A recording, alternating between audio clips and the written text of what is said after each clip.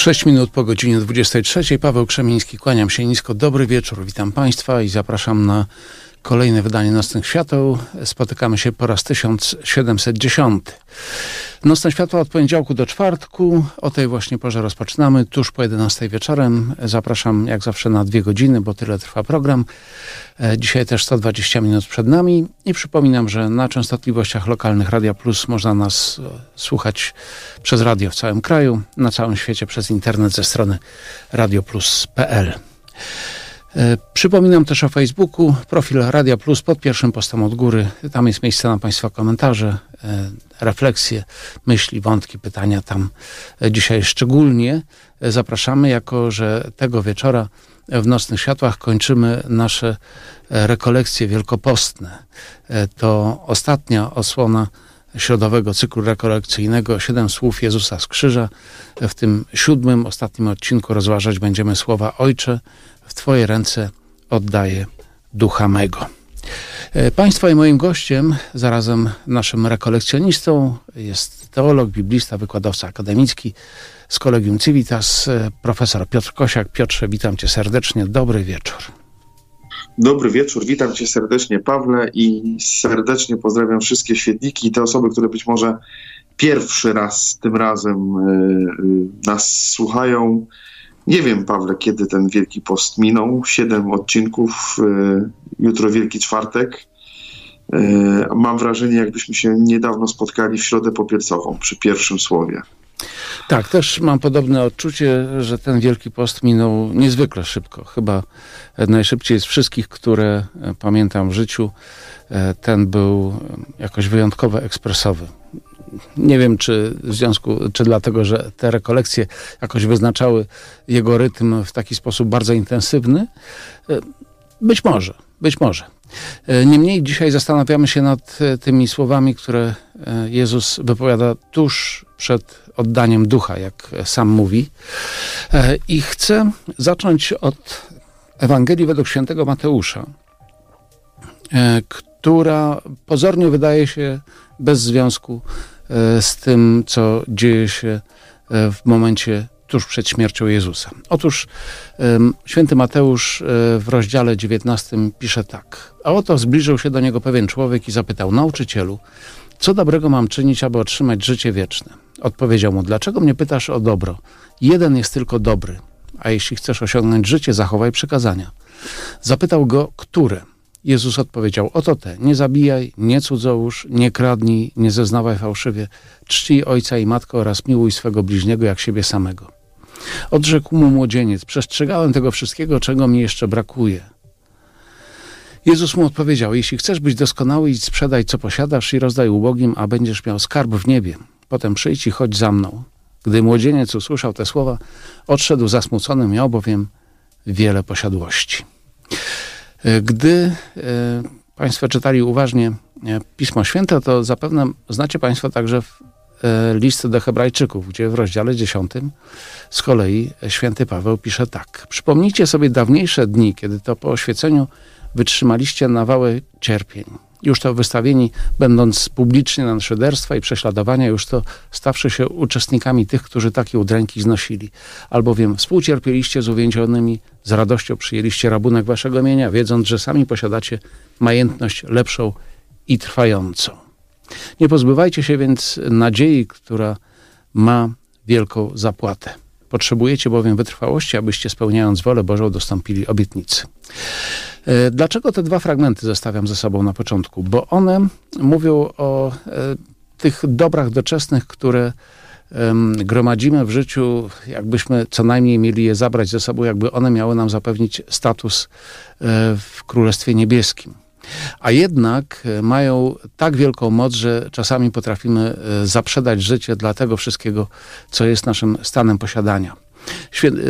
Młodzieniec, e, młodzieniec bogaty, który słysząc e, od Jezusa, że jeden jest tylko dobry, e, a przecież dobry jest tylko Bóg, w gruncie rzeczy może mniemać, że te słowa wypowiada sam Bóg, sam Mesjasz.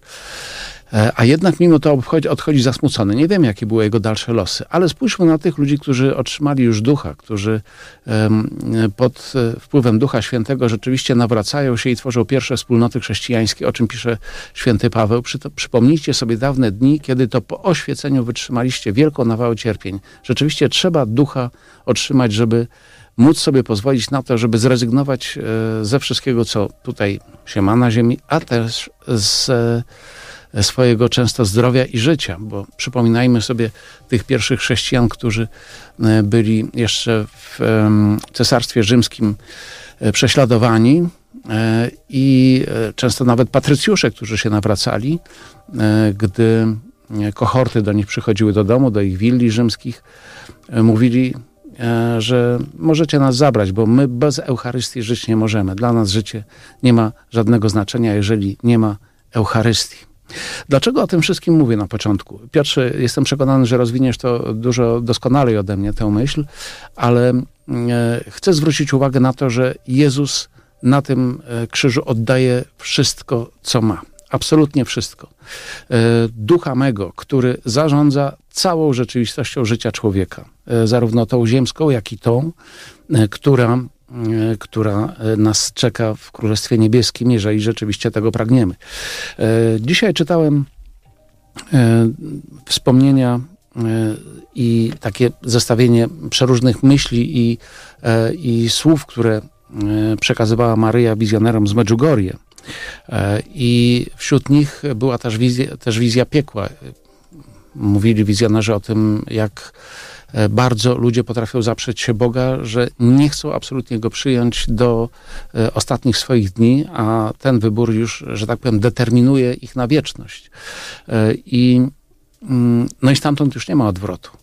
Więc ta dusza, która, ten duch, który, że tak powiem, e, kieruje nami tutaj na ziemi, to jest właściwie wszystko, co, co mamy. To jest e, cała nasza rzeczywistość. To jest ten dar od Boga, ta iskra Boża, która została w nas złożona, żeby mm, przeprowadzić nas przez życie. Można to e, za, zagłuszyć wszelkimi dobrami, wszelkimi ego swoim własnym przede wszystkim. Można też zwrócić to ku Bogu. I w życiu Jezusa Chrystusa, jak widzę, E, jak odnajduje w Ewangelii, w nauce Kościoła, w Eucharystii i w ogóle w sakramentach, jest właśnie całą drogą od Ojca do Ojca. Znamy to powiedzenie, dyskutowaliśmy w poniedziałkowym wydaniu Nocnych Świateł o tym, co to znaczy powrócić do domu Ojca. Razem z księdzem Karolem Oparczykiem rozmawialiśmy o tym. I tutaj właściwie już można powiedzieć na początku, Jezus oddaje się w ręce Ojca. Ze wszystkim, absolutnie ze wszystkiego ogołocony. Z wszystkiego rezygnował, a przede wszystkim ze swojego bóstwa po to, żeby przyjąć postać sługi. Pawle, bardzo dziękuję za zestawienie tych dwóch fragmentów, bo przypomnę, że dzisiaj mamy słowo ostatnie. Ojcze, w ręce Twoje oddaję ducha mego.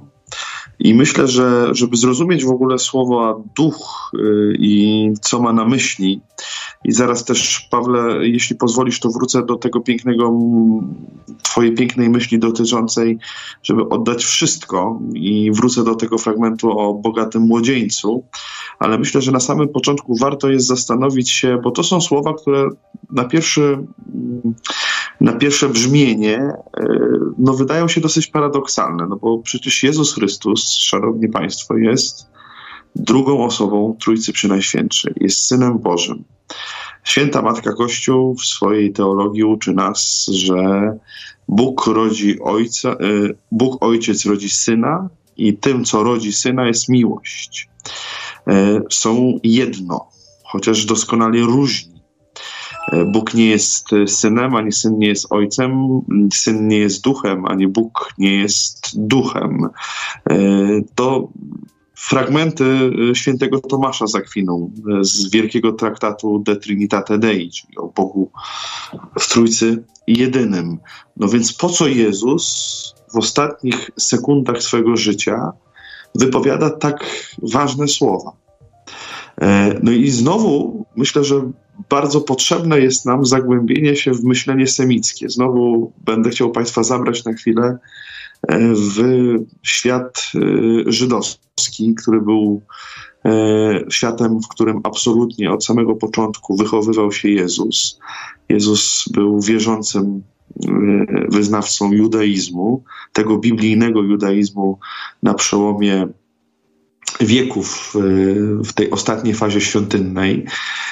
I jak wtedy rozumiano słowo duch? Bo myślę, że to może Państwa bardzo frapować, bo myślę, że e, przeciętny katolik nie rozróżnia słowa duch i dusza. Jestem o tym przekonany, bo wielokrotnie o to pytam swoich studentów na, na przedmiocie, który prowadzę, między innymi w tym roku akademickim, filozofia i antropologia. I zadaję pytanie swoim studentom, to jest pierwszy bądź trzeci rok studiów magisterskich, e, czym się różni duch od duszy? I przez lata, jak prowadzę ten przedmiot, jeszcze się nie zdarzyło, żeby ktoś potrafił mi odpowiedzieć. A przecież większość moich studentów to są bardzo solidni, wierzący młodzi ludzie. Czym się różni duch od duszy? I myślę, że tutaj warto jest no właśnie wrócić na chwilę do korzeni żydowskich Jezusa, żeby to zrozumieć. My niestety na świecie, w świecie zachodnim żyjemy w pewnym rodzaju dualizmu, który zaproponował nam Platon. Platon w metaforze jaskini e, próbuje pokazać człowieka jako istotę składającą się z dwóch wspaniałych części soma i psyche.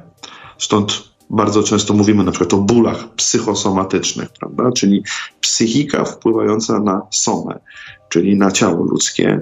E, Platon uważa, że dusza jest doskonała, że dusza jest siedliskiem idei, że dusza ma w sobie pierwiastek boski, że jest niezniszczalna, że nie da się jej w, w, w, żaden sposób e, zamknąć, ale takim jedynym więzieniem e, dla tej duszy jest ciało.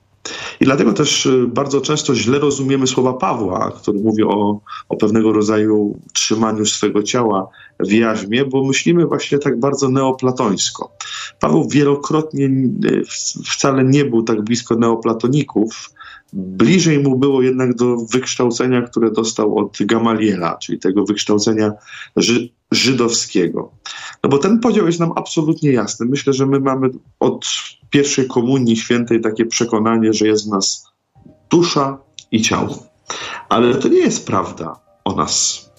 Wschód nam o tym absolutnie y, przypomina i tutaj znowu taki uśmiech do, do właśnie chrześcijaństwa wschodniego, do prawosławia czy do grekokatolików, bo tam w antropologii właśnie prawosławnej wymienia się trzy części składowe człowieka. E, to są właśnie ciało, dusza i duch. Hebrajczycy mają oczywiście swoje nazwy hebrajskie, które teraz chciałbym Państwu troszkę rozwinąć, bo myślę, że sama semantyka tych słów ma dosyć spore znaczenie. To jest ruach, nefesz i basar. Rozpocznę może od tego pierwszego, bo to widać na krzyżu bardzo mocno. Basar hebrajskie, stąd mamy arabskie bazar i nasze słowiańskie słowo bazar. Bazar to miejsce, gdzie się sprzedaje mięcho, rzeźnik.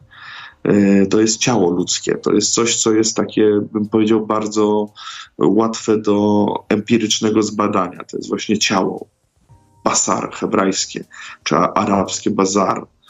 E, to jest ciało. Ciało ludzkie, które jest poddane zmysłom. Jezus, jako ten baranek e, bez skazy, oddaje swój basar na mękę. Jutro za chwilę będziemy przeżywali tajemnicę Wielkiego Czwartku. Będziemy widzieli właśnie, jak Jezus swoje ciało wydaje dobrowolnie na mękę. Ciało, czyli właśnie ten basar hebrajskie. No i myślę, że to nie jest jakąś taką trudnością, żeby sobie wyobrazić te umęczone ciało Jezusa Chrystusa. Znowu przywołuję pasję Mela Gibsona, żeby troszkę w tym okresie bardzo Państwa zachęcam do tego, żeby w tym okresie Wielkiego Czwartku czy Wielkiego Piątku pomyśleć sobie właśnie o tym udręczonym ciele Chrystusa, o tej krwi przelanej, o biczach. E, ta scena może biczowania niech nam stanie właśnie przed oczami. Te udręczone ciało, które już nie było w stanie stać przy tym kamiennym e, słupie, które prawda, trzęsło się z bólu i z już takich odruchów samoistnych mięśni. Było tak i w tym obrazie właśnie ciała Jezusa, tego basar hebrajskiego są moje i twoje grzechy. Właśnie to, że my bardzo często swoje ciało próbujemy postawić na pierwszym miejscu. Pawle, mówię ciało, bo chcę nawiązać właśnie do tego, co powiedziałeś o tym bogatym młodzieńcu, czyli taką ufność, że w tym ciele jest wszystko.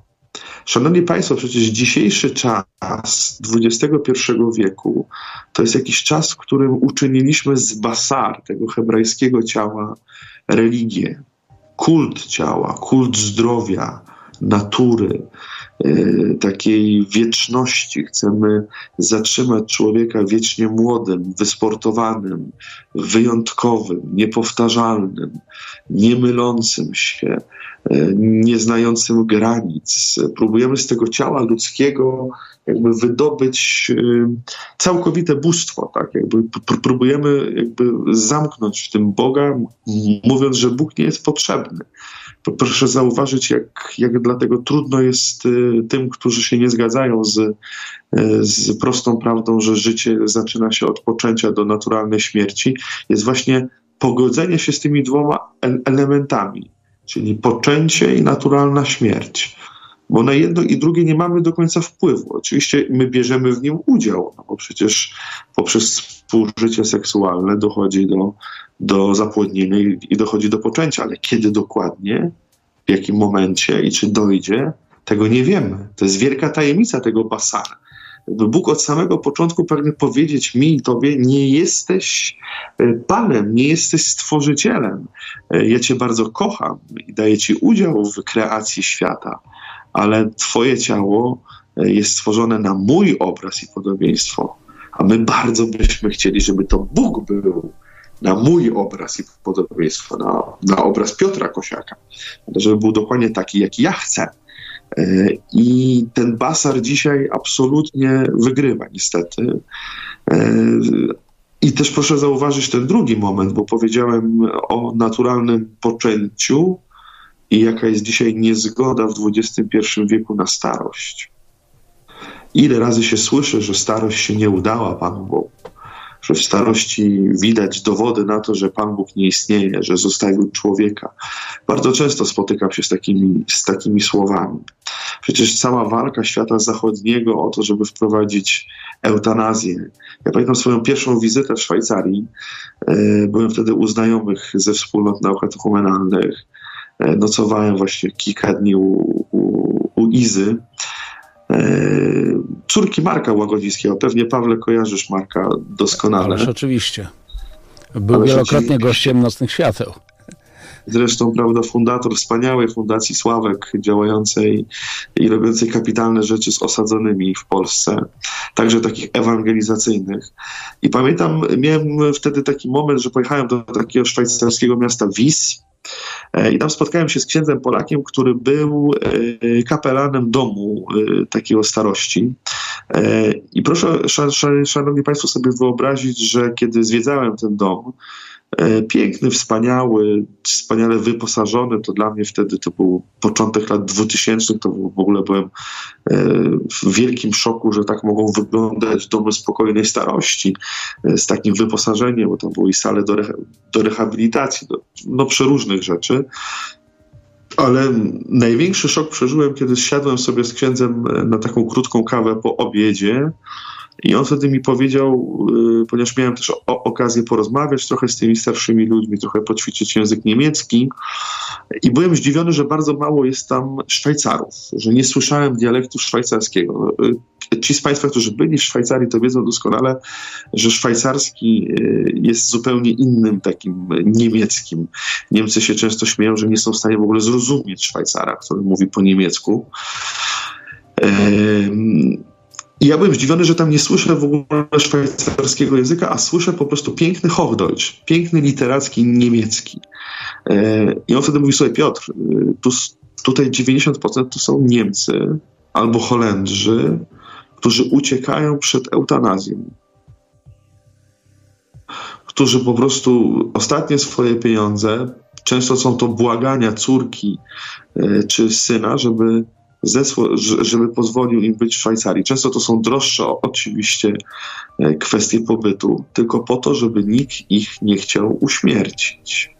Piotrze, zatrzymajmy się nad tą myślą, bo tutaj dochodzimy do e, tego momentu, w którym rzeczywiście Jezus oddaje krzyża i człowieka, który e, staje na skraju życia doczesnego i, sk i skraju życia wiecznego, więc zobaczmy też siebie w, w tej perspektywie zarówno w perspektywie Jezusa, jak i w perspektywie tego, co nieuchronnie, niechybnie przyjdzie i do nas. E, dzisiaj w Nocnych Światłach kończymy rekolekcje wielkopostne. Spotykamy się po raz siódmy w cyklu Siedem Słów Jezusa z Krzyża. Rozważamy słowa Ojcze, w Twoje ręce oddaję ducha mego. To słowa z Ewangelii Świętego Łukasza, rozdział 23, wers 46. Naszym rekolekcjonistą jest profesor Piotr Kosiak, teolog i biblista. Państwa zapraszam na Facebook, profil Radia Plus pod pierwszym postem góry. Ostatni dzień, ostatni wieczór, ostatnie wydanie tegorocznych rekolekcji wielkopostnych Nocnych Świateł. Środowy cykl rekolekcyjny dobiega końca. Siedem słów Jezusa z krzyża dzisiaj ma swój finał. Odcinek siódmy. Rozważamy słowa Ojcze. W Twoje ręce oddaję ducha mego. Naszym rekolekcjonistą jest profesor Piotr Kosiak, teolog i biblista. E, państwa zapraszamy na Facebook, profil Radia Plus pod pierwszym postem od góry. E, Piotrze, nasza cielesność, nasze bazar, e, które jest śmiertelne i to śmiertelne ciało Jezusa, które okazuje się być wskrzeszone, zmartwychwstałe, ale dopiero w perspektywie. W tym momencie, kiedy Jezus umiera na krzyżu, wielu w Niego wątpi, ale nie sam Jezus. No właśnie, szanowni państwo, jeśli pozwolicie, to jeszcze kilka takich refleksji o tym śmiertelnym naszym bazar. Yy, w perspektywie właśnie zbliżającego się Wielkiego Czwartku, Wielkiego Piątku, Wielkiej Soboty, bo te najważniejsze dni Wielkiego Tygodnia przed nami, ta liturgia, która nie będzie miała końca, bo szanowni Państwo, warto jest popatrzeć na liturgię Triduum właśnie w całości. Wielki Czwartek yy, nie będzie rozesłania. Yy, Pan Jezus zostanie schowany do ciemnicy, I dopiero to rozesłanie będzie e, Wigilią e, Wielkiej Nocy, będzie Paschą, będzie to będą właśnie procesje, które często w nocy się kończą i tam dopiero kończy się liturgia Triduum Paschalnego. Warto jest w tym świętym czasie Triduum pomyśleć sobie właśnie o tym, czym jest te moje ciało i dlaczego tak bardzo mocno nie chcę go oddać Jezusowi, dlaczego tak stawiam je często na pierwszym miejscu. Nie wiem, czy Pawle pamiętasz, ale zaczęliśmy tak naprawdę w środę popielcową właśnie od tego momentu, mówiąc, że ten e, symbol posypania głowy popiołem ma nam uświadomić, że jesteśmy śmiertelni, że nasze ciało nie jest doskonałe, że nie jesteśmy doskonali, że popełniamy błędy, że nie jesteśmy koroną e, stworzenia, która o wszystkim decyduje. Oczywiście jesteśmy najważniejszym elementem stworzenia przez Boga, na jego, na jego obraz i podobieństwo, ale bogami na szczęście nie jesteśmy, bo co by to było, gdyby Piotr Kosiak był Bogiem, czy Paweł Krzemiński. Myślę, że wcale by tak doskonale na tym świecie nie było, także dzięki Bogu, oj, że to Bóg oj, oj. Jeśli chodzi o mnie, to absolutnie w ogóle taka rzecz nie wchodzi w rachubę, Piotrze, no to, to by było straszne dla świata. To, to, by była, to, by, to, by, to by była tragedia, to byłby jego koniec i to naprawdę niesławny ale warto sobie często tak, e, tak to u, uświadamiać, że ja jestem tu, a ty jesteś tam, bo ta pokusa demona, z, przecież my w tych siedmiu słowach bardzo często wracamy do tej protoewangelii, czyli do Księgi Rodzaju, no bo Chrystus, jeszcze raz przypomnę, nowy Adam, Maria, nowa Ewa, jakby na nowo próbują e, uratować świat. I to się dzieje rzeczywiście przez śmierć i zmartwychwstanie Chrystusa, to warto sobie uświadomić często, że jednak te kłamstwo demona, e, które było wypowiedziane, że Bóg nie chce, żebyście byli równi Jemu, e, jest cały czas bardzo aktualne. Tak? I my bardzo często właśnie nie chcemy poświęcić swojego życia. My właśnie jesteśmy tak jak ten bogaty młodzieniec, o którym Pawle wspomniałeś, że, e, że oczywiście może tradycja jest dla nas ważna, może Przecież większość tutaj naszych świetników, ja jestem Państwu bardzo wdzięczny, bo jak czytam Wasze komentarze, e, one są wspaniałe, one są głębokie i ile tam jest mądrości, refleksji, ile tam jest mądrych pytań. Przecież większość z nas w jakiejś tradycji takiej dobrej katolickiej się wychowało. E, I, i przecież e, te słowa demona są cały czas aktualne w naszym życiu. To jest pokusa, która jest pokusą aż do końca świata, dopóki ten książeś, y, który niósł kiedyś światłość, Lucyfer, nie zostanie ostatecznie pokonany y, już w tym ostatecznym boju, czyli w sądzie ostatecznym, bo oczywiście został pokonany poprzez zmartwychwstanie Chrystusa. Ale przecież demon nam cały czas próbuje właśnie pokazać, jest co, no to, to nie jest tak do końca. Bóg coś przed tobą ukrywa. Lepiej jest trzymaj swoje ciało, swoje bogactwo we własnych rękach. Nie pozwól mu za bardzo na to, żeby on o wszystkim decydował. Ty jesteś panem swego życia. Ty bądź tym, który, który decyduje. Bo przecież Jezusowi wcale nie chodziło, żeby w dobrym, o dobr, dobremu młodzieńcowi powiedzieć sprzedaj wszystko. To jest pytanie, e, Pawle, czym jest moje wszystko?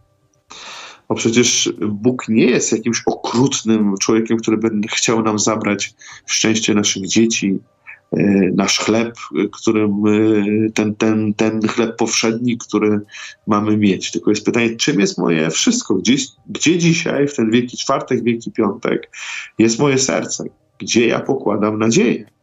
E, gdzie jest dla mnie Bóg, bo, bo być może dzisiaj, nie wiem, praca czy stan twojego konta, czy wizja e, na twoje życie, prawda, czy emeryturka, prawda, wleci, czy nie wleci e, i to, prawda, że czasami przecież ile my jesteśmy niewolnikami, szanowni państwo, takich ja to często nazywam w naukach o zarządzaniu, czy w, w ekonomii takiej, że tyle muszę mieć, prawda? tyle muszę mieć, żeby prawda, spłacić jakieś rzeczy. I często też Pan Bóg próbuje nam pokazać, że wcale nie musisz tego mieć. Wcale nie musisz tego mieć. Ja cię będę prowadził. E, ja cię będę e, błogosławił, tylko oddaj mi to. Pytanie jest, czym jest moje wszystko? Gdzie jest moje ciało? Gdzie te basar jest dzisiaj zakotwiczone, bo być może często jest zakotwiczone w jakichś prawda, wizjach, że, że jak będzie prawda, x złoty, to będzie dobrze. Jak nie będzie y złoty, no to będzie bardzo źle.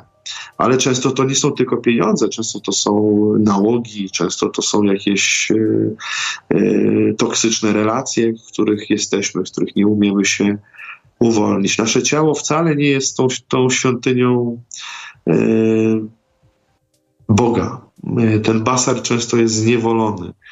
E, I myślę, że warto jest w tej krwi, która zaraz będzie przelana w Wielki Czwartek, Wielki Piątek, e, warto jest te swoje basar o, o, oczyścić, zostawić, tak po ludzku. Jak Państwo będą mieli okazję być w ciemnicy czy u grobu Pana Jezusa, zostawcie tam właśnie swoje basar. Powiedzcie, tak bardzo szczerze, w takiej normalnej rozmowie, panie, to jest moje ciało. Często widzę, że, że ja tam nie chcę ciebie, że, że bardzo często nie ma tam miejsca na ciebie, ale chcę ci go oddać, chcę go zostawić. Yy, bo jeśli go nie zostawię, to nie będzie paschy, to nie będzie przejścia.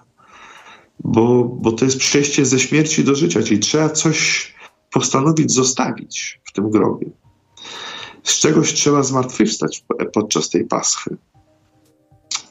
I tutaj, jeśli Państwo pozwolą, to postawię oczywiście trzy kropki, bo o tym basar można byłoby rozmawiać dłużej, ale wydaje mi się, że dzisiaj istotny jest y, duch, y, bo to jest jeden z podstawowych elementów tego ostatniego słowa, które powiedział Jezus.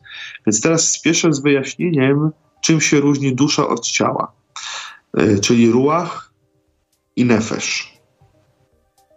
Więc, szanowni Państwo, nefesz to jest dusza. I tutaj ci z Państwa, którzy mieli taki podstawowy kurs filozofii, nie wiem, czy podczas dobrego, dobrej szkoły średniej, czy, e, czy być może studiów wyższych, no to wtedy e, Państwo powinni sobie przypomnieć i nauczanie Platona, a przede wszystkim Arystotelesa.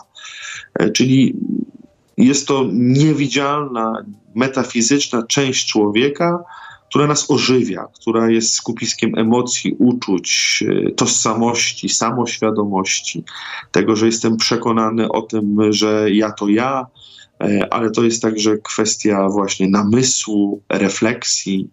E, to jest miejsce, które powoduje, że mam samoświadomość, samorefleksję właśnie. To jest dusza. Ta dusza w myśleniu właśnie metafizycznym, filozoficznym Arystotelesa czy Platona.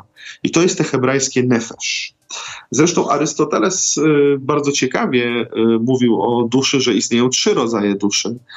Y, dusza wegetatywna, czyli tą, którą posiadają rośliny, czyli coś, co odróżnia materię ożywioną od nieożywionej. Przecież Państwo mają doskonale takie doświadczenie, przynajmniej ja, bo ja ostatnio od kilku dobrych lat jestem zafascynowany ogrodem właśnie. Dzisiaj przepraszam, że być może nie brzmię tak jak przez ostatnie sześć odcinków, bo już jesteśmy z rodziną na naszych ukochanych Mazurach i, i ten ogród mi jakby pokazuje, czy rośliny, które mamy, ci z Państwa, którzy kochają ten świat ogrodniczy czy roślinny, wiedzą doskonale, że coś jest niesamowitego w tym świecie roślinnym. Że bardzo często mówi się, że ktoś ma rękę do roślin, prawda? że rośliny nas słuchają czy nie słuchają. Jest coś takiego niesamowitego w tym świecie. I toż to widzieli starożytni filozofowie. To jest ta właśnie dusza najprostsza, wegetatywna, tak ją nazywa Arystoteles. Dusza o wiele wyższa, o wiele bardziej skomplikowana to dusza animalna, czyli taką duszę, którą posiadają zwierzęta. E, przecież e, nie muszę Państwa przekonywać, bo myślę, że niektórzy z Was to są wierni kociarze czy psiarze, e, ci, którzy jakby kochają zwierzęta i te zwierzęta są w Waszych domach. Ja pamiętam z dzieciństwa naszego psa, który no, bardzo często mnie zaskakiwał, ten nasz Kacperek, który w jakiś sposób, nie wiem, czuł często choroby, złości. E, przecież ile osób ma takie doświadczenie, jak przychodzi z pracy, prawda, to często żona tak nie wita człowieka jak pies, który, który czeka i się cieszę. Oczywiście tutaj troszkę próbuję Państwa y, przed północą rozweselić, ale coś w tym jest. Przecież ten instynkt zwierząt, Pawle, y, ile razy w tym świecie medialnym jest pokazywane, że pies prawda, wraca na cmentarz albo biegnie za, za samochodem. Y, przecież to nie jest zwykły instynkt. Wiemy o tym doskonale dzisiaj, przecież nauka psychologii się rozwija, także psychologii zwierzęcej, behawiorystyki zwierzęcej. Więc tutaj ta jest ta dusza właśnie animalna, ale duszą, która jest absolutnie e, koroną, która jest doskonała, to jest dusza humanistyczna, tak? to jest dusza człowieka, którą Kościół nazywa duszą, która jest nieśmiertelna. E, która jest nieśmiertelna, czyli ona nie podlega rozkładowi, ona się nigdy nie kończy. Ona jest własnością samego Boga. E, I to jest dusza, i to jest to wszystko, co, co e, często jest naszym takim światem wewnętrznym, światem duchowym, jakichś przeżyć, które przeżywamy duchowych, modlitw, refleksji, pytań, które sobie zadajemy. To wszystko dzieje się w naszej duszy. Czy możemy ją z, zważyć, zmierzyć? No pewnie nie. E, ale jesteśmy jakoś bardzo głęboko przekonani, że ona w nas jest. E, I myślę, że każdy z nas ma pewnie milion takich doświadczeń, że coś usłyszał w duszy, e, że, że słyszał tam jakiś głos Boga czy Bożego prowadzenia. Ale to jest dusza. I tutaj precyzyjnie nie pada to, że Bóg mówi, czy Jezus mówi, oddaje duszę w ręce Twoje, Panie. Ojcze tylko mówi o duchu, czyli o tej trzeciej rzeczywistości hebrajskiej, czyli nie nefesz, tylko ruach. Ruach, duch. I czym jest ten duch w antropologii judaistycznej? To jest, Pawle, ten duch, który się unosił nad wodami. To jest te tchnienie, które Bóg w tym opisie stworzenia świata z Księgi Rodzaju e, tchnął w ulepionego Adama. E, to jest tchnienie, które warto jutro obserwować na mszy krzyżma, bo to jest jedyny moment w liturgii, szanowni państwo.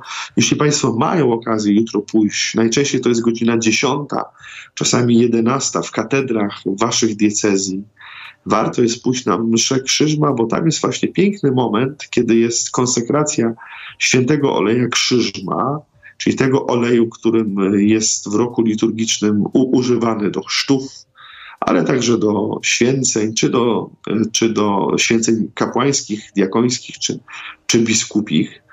czy do bierzmowania, także, bo to jest ten trzeci sakrament. I tam jest taki moment, kiedy jest przepiękna modlitwa, y, która pewnie by nie starczyło tej audycji, żeby ją teologicznie rozważyć, ale jest taki moment, w którym biskup dokonuje, i to jest jedyny moment w liturgii rzymskiej, dokonuje aktu tchnienia. I rzeczywiście dmucha w ten, w ten e, piękną, pozłacaną czy posrebrzaną e, naczynie, właśnie tym tchnieniem, nawiązując do tego tchnienia Bożego, czyli do tego, który ożywia, który sprawia, że ciało jest boskim. Zatrzymajmy się tutaj, e, bo to rzeczywiście jest bardzo piękny i taki niecodzienny moment w liturgii.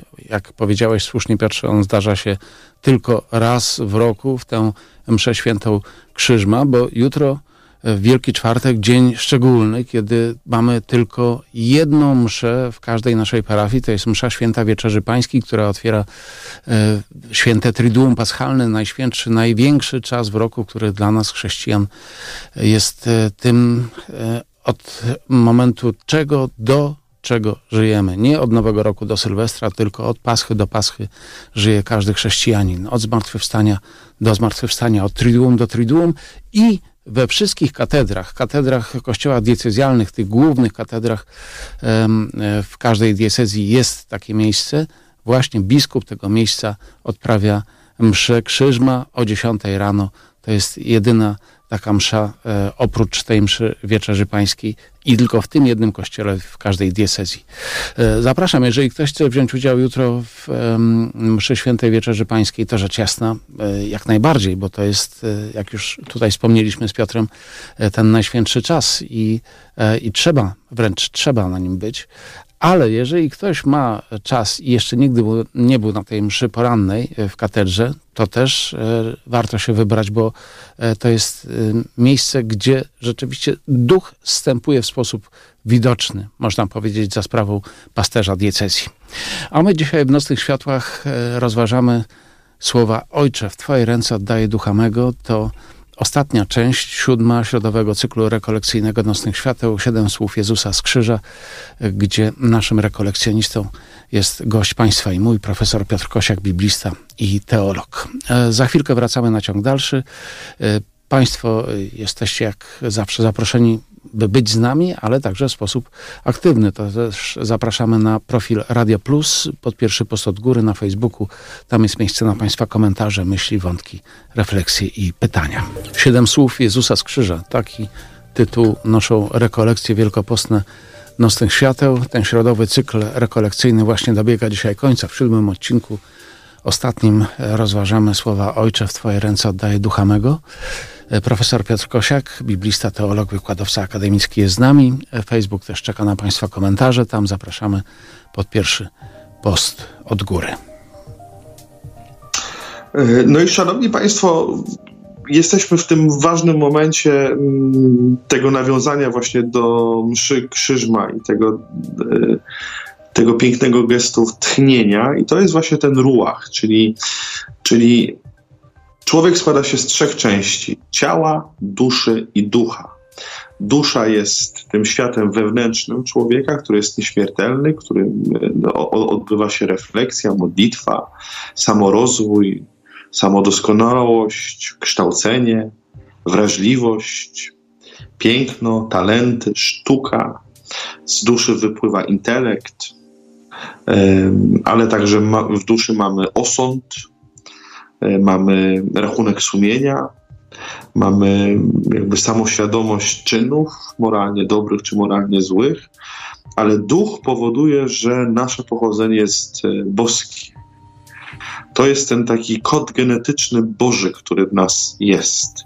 To jest to coś, co, co jest identyfikacją, że człowiek jest koroną stworzenia. Że oczywiście zwierzęta i świat zwierząt może być piękny, pasjonujący, ale ten ruach Jahwe jest w człowieku. E, jest w człowieku. I Jezus, wypowiadając te słowa, Ojcze, czyli zwraca się do swojego Ojca, do, do Boga, ale także w relacji Trójcy Świętej, ale tutaj mówi on, jakby mówi to w perspektywie Syna Człowieczego, ale człowieka, tak? czyli jakby oddaje Bogu tą taką doskonałą jedność. Mówi, wracam do domu Ojca, wracam do Ciebie. Jakby oddaję to wszystko, co absolutnie w sobie mam.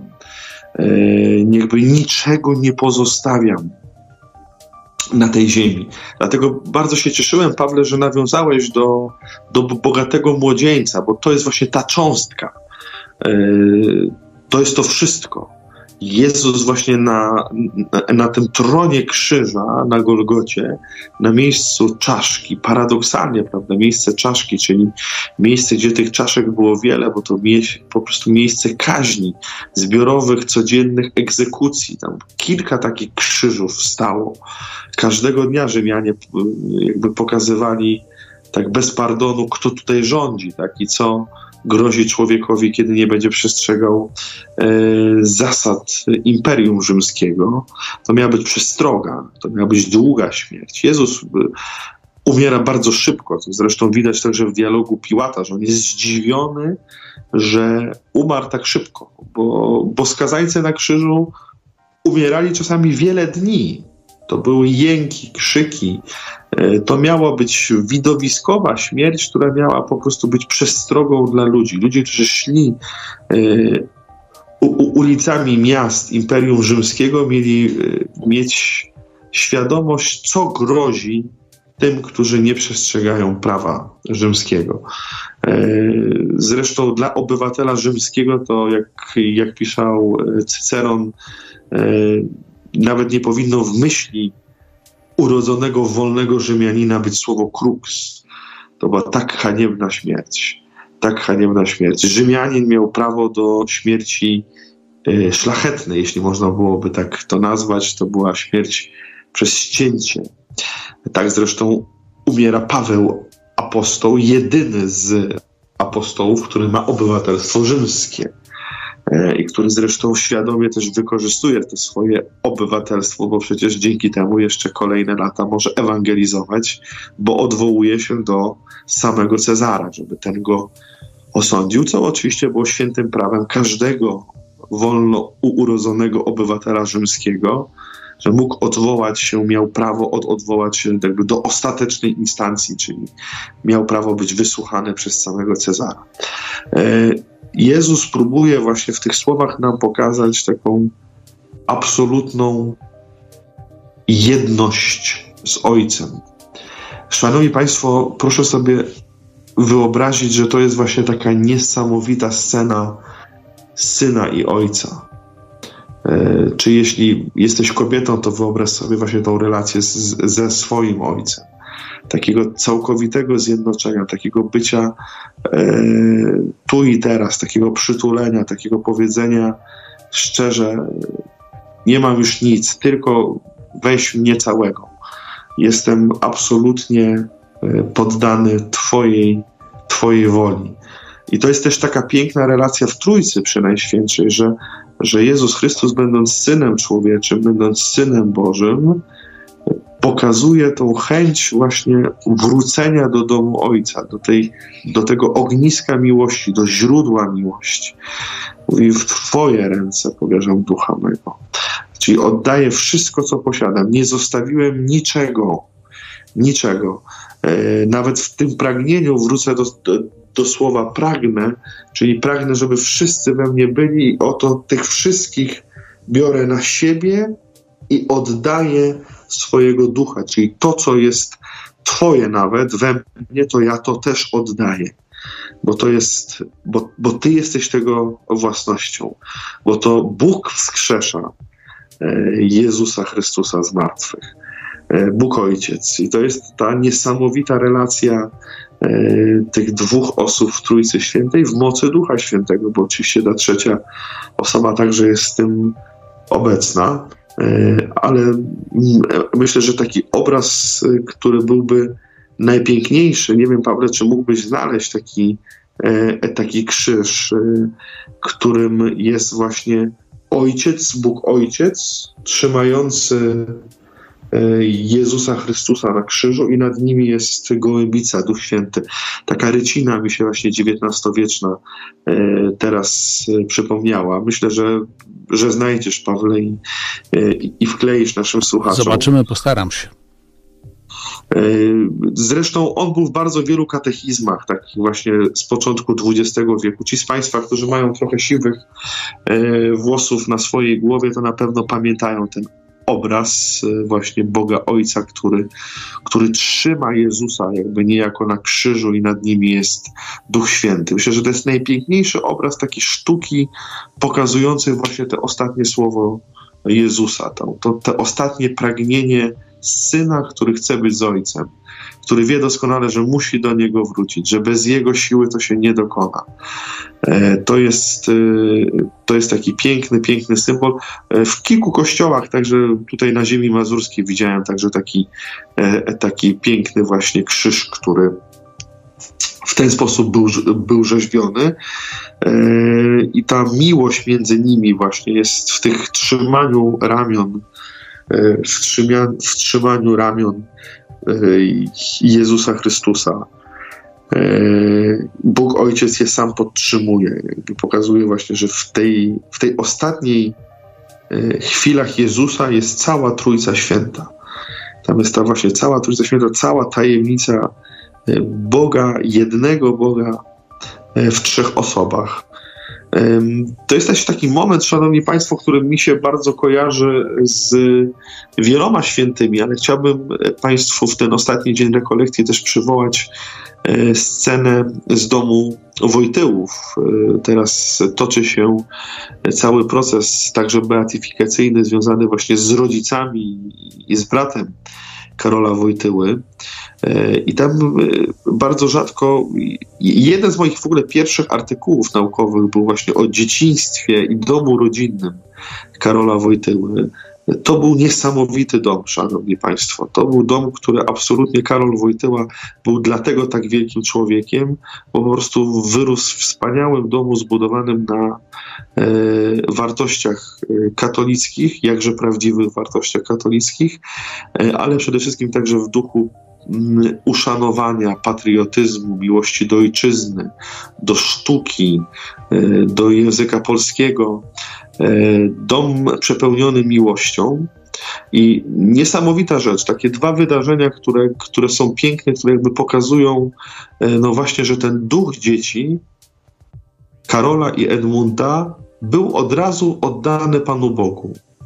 E, nie wiem, czy Państwo mają świadomość, ale kiedy rodził się Karol Wojtyła, no to Emilia Wojtyłowa rodziła Karola Wojtyły w domu oczywiście, no tak jak w starych czasach to bywało.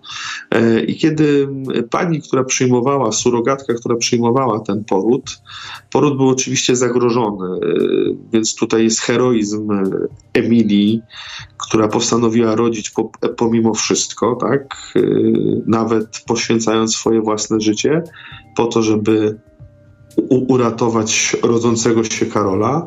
I kiedy Karol się urodził, to w tym momencie, kiedy zaczął wychodzić, to poprosiła panią, która przyjmowała poród, żeby otworzyła okno ponieważ ci z Państwa, którzy byli w domu rodzinnym e, w Wadowicach, to wiedzą doskonale, że to są budynki obok siebie, bardzo blisko. Zresztą Karol Wojtyła widział zegar e, e kościoła, to było jakieś takie metafizyczne dla niego przeżycie. On to w tryptyku też rzymskim pięknie o, o tym pisze, że ten zegar mu jakby przypominał, prawda, że nie wszystek umrzesz, ale że tempus fugit.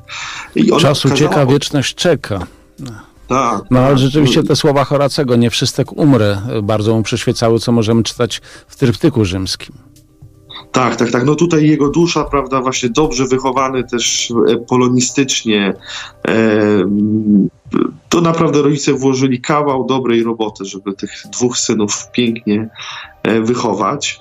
I mama Karola Wojtyły prosiła, żeby otworzyć okno, żeby młody Karol Wojtyła mógł usłyszeć śpiew litanii loretańskiej, bo było majowe i żeby już od samego początku został jakby zanurzony w tą pobożność Kościoła, że jego matką ma być Maryja.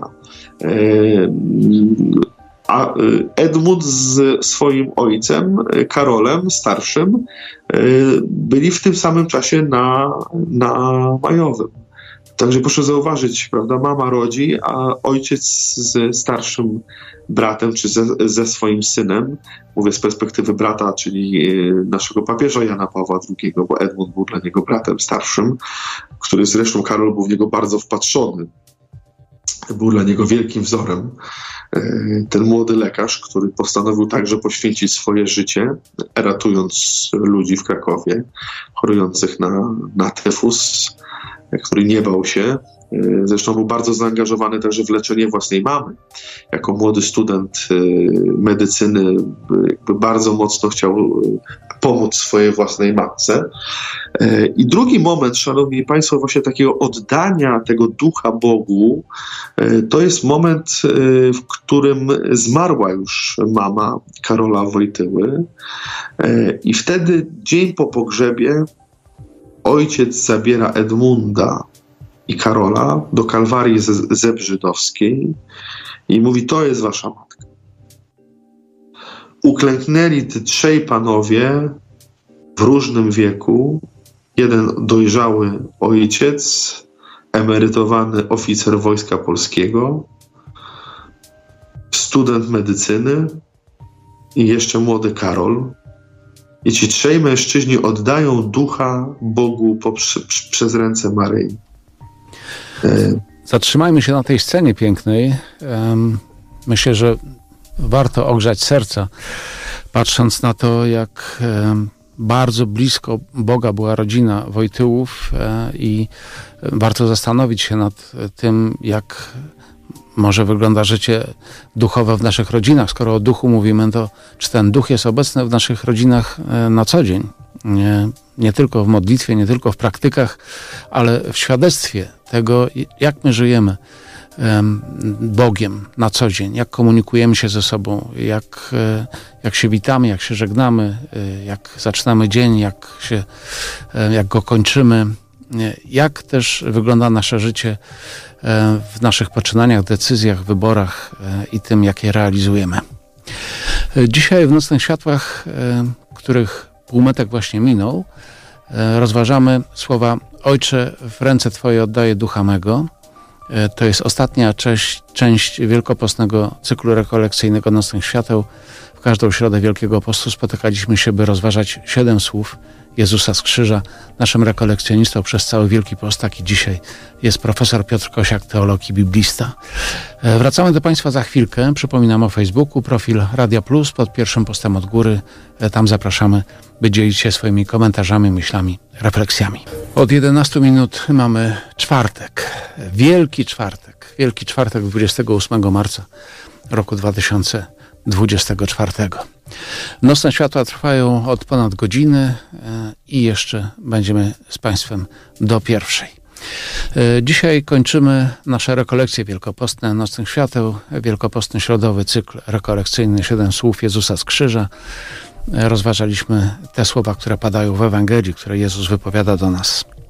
Dzisiaj kończymy to słowami Ojcze, w Twoje ręce oddaję ducha mego. Naszym rekolekcjonistą jest profesor Piotr Kosiak, teolog, biblista, wykładowca akademicki. E, zaczęliśmy od e, bogatego młodzieńca, ale e, też chcę sięgnąć w tym momencie, skoro już Piotrze taką poważną egzegezę zrobiłeś tego podziału człowieka na, na cielesnego i duchowego, E, to ja chcę sięgnąć do tego szczególnego autora biblijnego, jakim jest święty Jan Ewangelista, który w świętym, e, który w pierwszym liście e, pisze, co następuje. Wszystko bowiem, co jest na świecie, a więc porządliwość ciała, porządliwość oczu i pycha tego życia, nie pochodzi od Ojca, lecz od świata. Jezus rzeczywiście oddaje wszystko i można powiedzieć, że mówiąc o tym duchu, skupia naszą uwagę na tym jedynym, co, co przetrwa, co trwa, co jest wieczne, co e, jak Bóg zamierzył, to już w Jego zamiarze było wieczności i jeżeli jest powołana do życia, to do życia na wieczność. A wszystko, na co zwraca e, święty Jan uwagę, co jest na tym świecie, nie pochodzi od Ojca, lecz od świata i tutaj zostaje porządliwość ciała, porządliwość oczu i pycha tego życia, czyli można powiedzieć, e, przekładając to na język współczesny, władza, pieniądze i seks.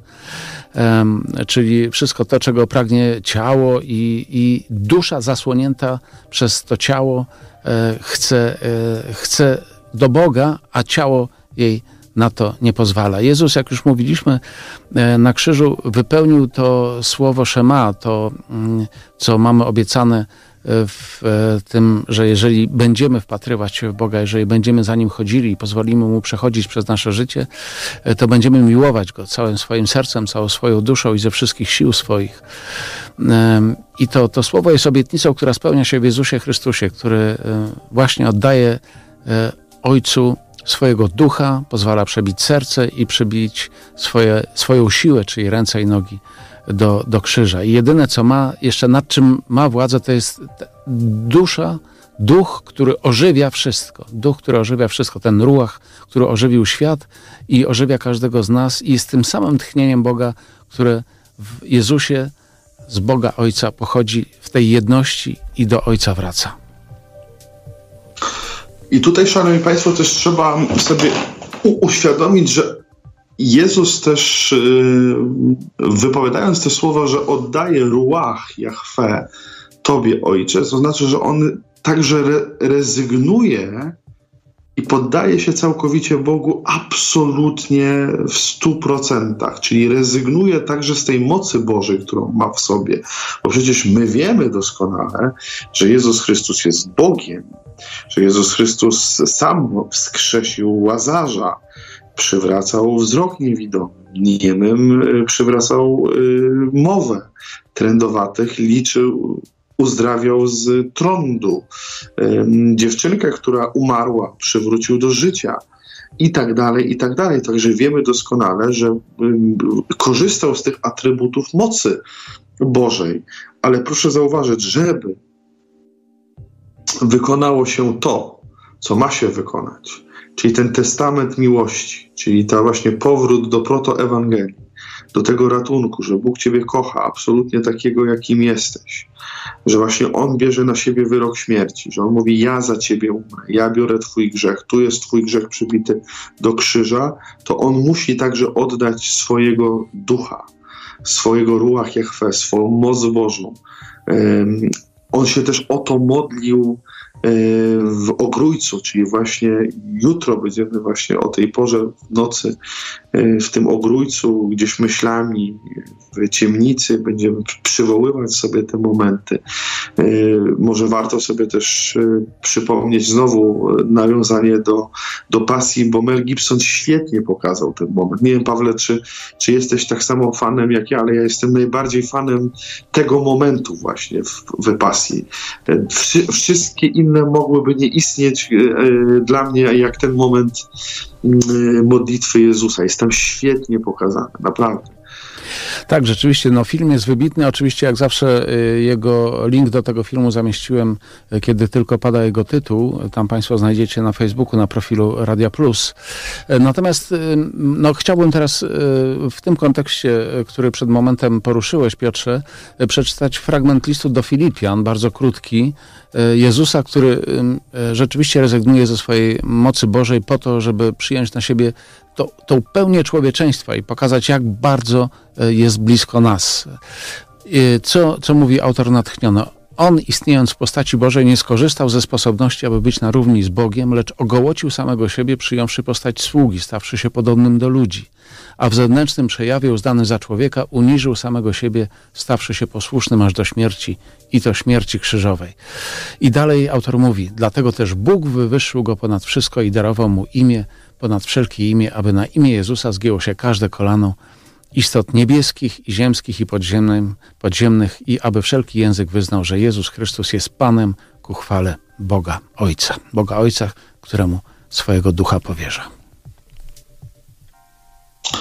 E, no właśnie, szanowni państwo i co jest szalenie istotne, żeby sobie właśnie uświadomić, kiedy będziecie Państwo adorowali, kiedy będziemy adorowali Jezusa, czy w ciemnicy, czy, czy na krzyżu oddając cześć, że Bóg się właśnie dobrowolnie, te słowa to jest ten moment właśnie, czyli On z, mówi, zabierz także ode mnie tego ducha, ja Tobie go oddaję, to jest moja wola, ja nie chcę skorzystać z tego, bo przecież Bóg, Jezus Chrystus mógłby myślą spowodować, Zresztą ta pokusa była w ludziach, prawda? Oni mówią, oto Eliasza woła, prawda? Poczekajmy, może przyjdzie Eliasz, może go zdejmie z tego krzyża.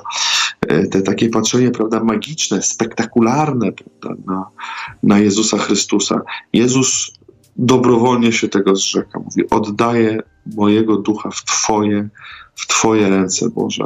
Ja chcę całkowicie się ogołocić, jak ten sługa Jahwe z pieśni z proroka Izajasza, pieśni o cierpiącym słudze Jahwe. On ma być właśnie tą taką owcą, która jest prowadzona na rzeź, która jest absolutnie bezbronna, która jest, która jest prowadzona e, całkowicie, niezależnie e, od swoich e, możliwości, jest po prostu prowadzona na rzeź. Takim barankiem, Agnus Dei, takim barankiem staje się Jezus Chrystus właśnie. I te słowa są takim jakby właśnie zostawieniem tego wszystkiego Bogu. No i no pytanie jest właśnie, które, które było przed przerwą, Pawle, jak chciałbym do niego nawiązać, bo wydaje mi, się, wydaje mi się, że ono jest bardzo istotne w tym ostatnim dniu rekolekcji, które chciałbym Państwu zostawić. To jest pytanie, jak wygląda strefa duchowa mojego życia? Mojej rodziny, prawda? Była przywołana rodzina e, Wojtyłów. Niedawno Kościół, przecież także byłem gościem, bardzo Ci dziękuję Pawle za to, bo, bo, bo, bo Ulmowie są gdzieś bardzo bliscy też mojemu sercu i to jest druga rodzina, którą, którą chciałem Państwu zostawić, bo y, do takich rzeczy jak, jak Ulmowie zrobili, to się całe życie przygotowuje. To trzeba mieć pewien styl życia, to trzeba mieć właśnie życie duchowe, na które się dba, które się pielęgnuje, które się pielęgnuje nie tylko modlitwą, ale także właśnie pięknem literatury, pasją, człowieczeństwem, bo przecież to jest ta jedność, o której my dzisiaj mówimy. Od tego dzisiaj wyszliśmy, od antropologii, czyli nauki filozoficznej mówiącej o tym, kim jest człowiek. Tak? Duchowość nie jest tylko elementem, szanowni państwo, pobożności ilością zmówionych różańcy, ale duchowość to jest właśnie otwartość na człowieka, to jest miłość, to jest serdeczność, to jest uprzejmość, to jest e, chęć kształcenia się, e, to jest wrażliwość na, na drugiego człowieka. Jakże to było widoczne w rodzinie Wojtyłów i jakże to jest widoczne w rodzinie Ulmów. Przecież to są ludzie, którzy całkowicie poświęcili się nie tylko samemu sobie. Te dzieci, budując sobie także ten świat duchowy, widzieli ojca, który uczy rolnictwa mieszkańców wioski. Widzieli w swoim domu bibliotekę, która służyła mieszkańcom wioski. Widzieli matkę, która chodziła na próby chóru po to, żeby upiększać wydarzenia świeckie i duchowe wiosce, w której, w której żyli. E, widzieli ojca, który miał pasję, który był naukowcem, który był wynalazcą, który był innowacyjny w swoim myśleniu. Także widzieli tą iskrę, ale tam był codzienny różaniec, tam, tam była żywo traktowana Ewangelia. Jak się patrzy, jak się jest w Muzeum Markowej i widzi się tą Biblię, taką Paweł zmęczoną, spoconą, taką przetrawioną, z fragmentami zaznaczonymi. No i oczywiście, jak jest ten fragment e, związany z miłosiernym Samarytaninem, podkreślony z annotacją przepiękną, e, to ciarki przechodzą, tak? To właśnie, to wtedy widzimy, co to znaczy praca duchowa, szanowni państwo. Bo ja mam wrażenie, że my bardzo często tak podchodzimy bardzo nonszalancko do naszego życia duchowego. Prawda? A tam raz w roku jakaś spowiedź, pójdę na rekolekcję, nie pójdę, pomodlę się, czy... ale w, żeby mieć yy, w sobie tego Ducha Bożego, to jest naprawdę ciężka praca. To jest, yy, i to nie są tylko kwestie związane z pobożnością, z taką eulabeją właśnie, jak mawiają Grecy, czyli z pobożnością, którą my yy, myślimy, prawda, że to tylko buduje nasz świat duchowy. To jest też budowanie swojego człowieczeństwa, wrażliwości na, na sąsiadów, na to, jakim jestem pracownikiem, jakim jestem, nie wiem, szefem, jakim jestem wykładowcą, jakim jestem e, ojcem, matką, jakim jestem bratem we wspólnocie. E, czy mogą e, na mnie liczyć, tak? Czy ja się w ogóle kimś przejmuję, bo być może się tylko interesuję własnym nosem.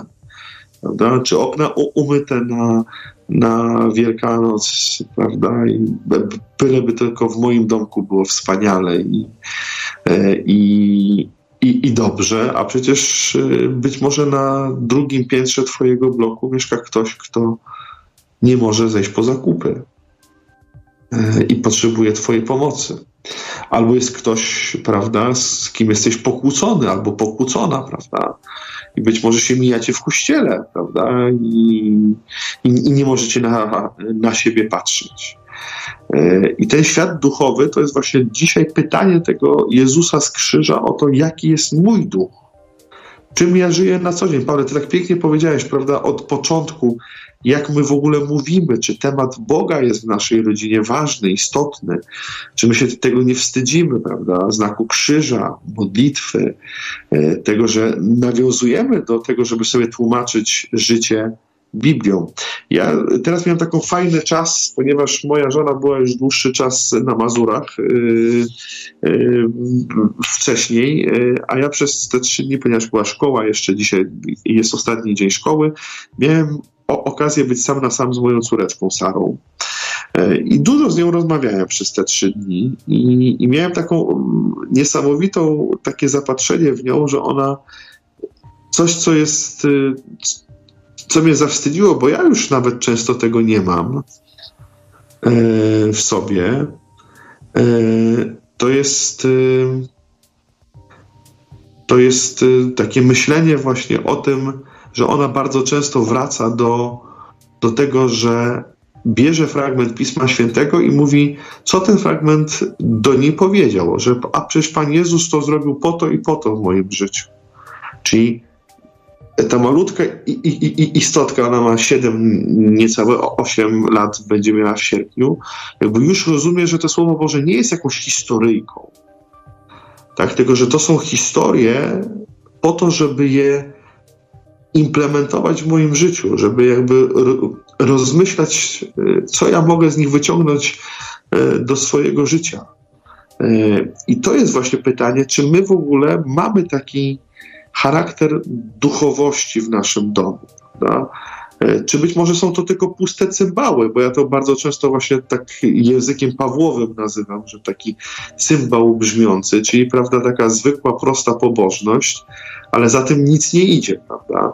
I też ja mam wrażenie, rozmawiając z moimi studentami, bardzo świeckiego kierunku, ponieważ ja przede wszystkim wykładam zarządzanie, to, to bardzo często, mm, jak rozmawiam ze, ze studentami, oni mają taką, e, e, takie momenty, że pytają też o swoje życie duchowe i o różne rzeczy.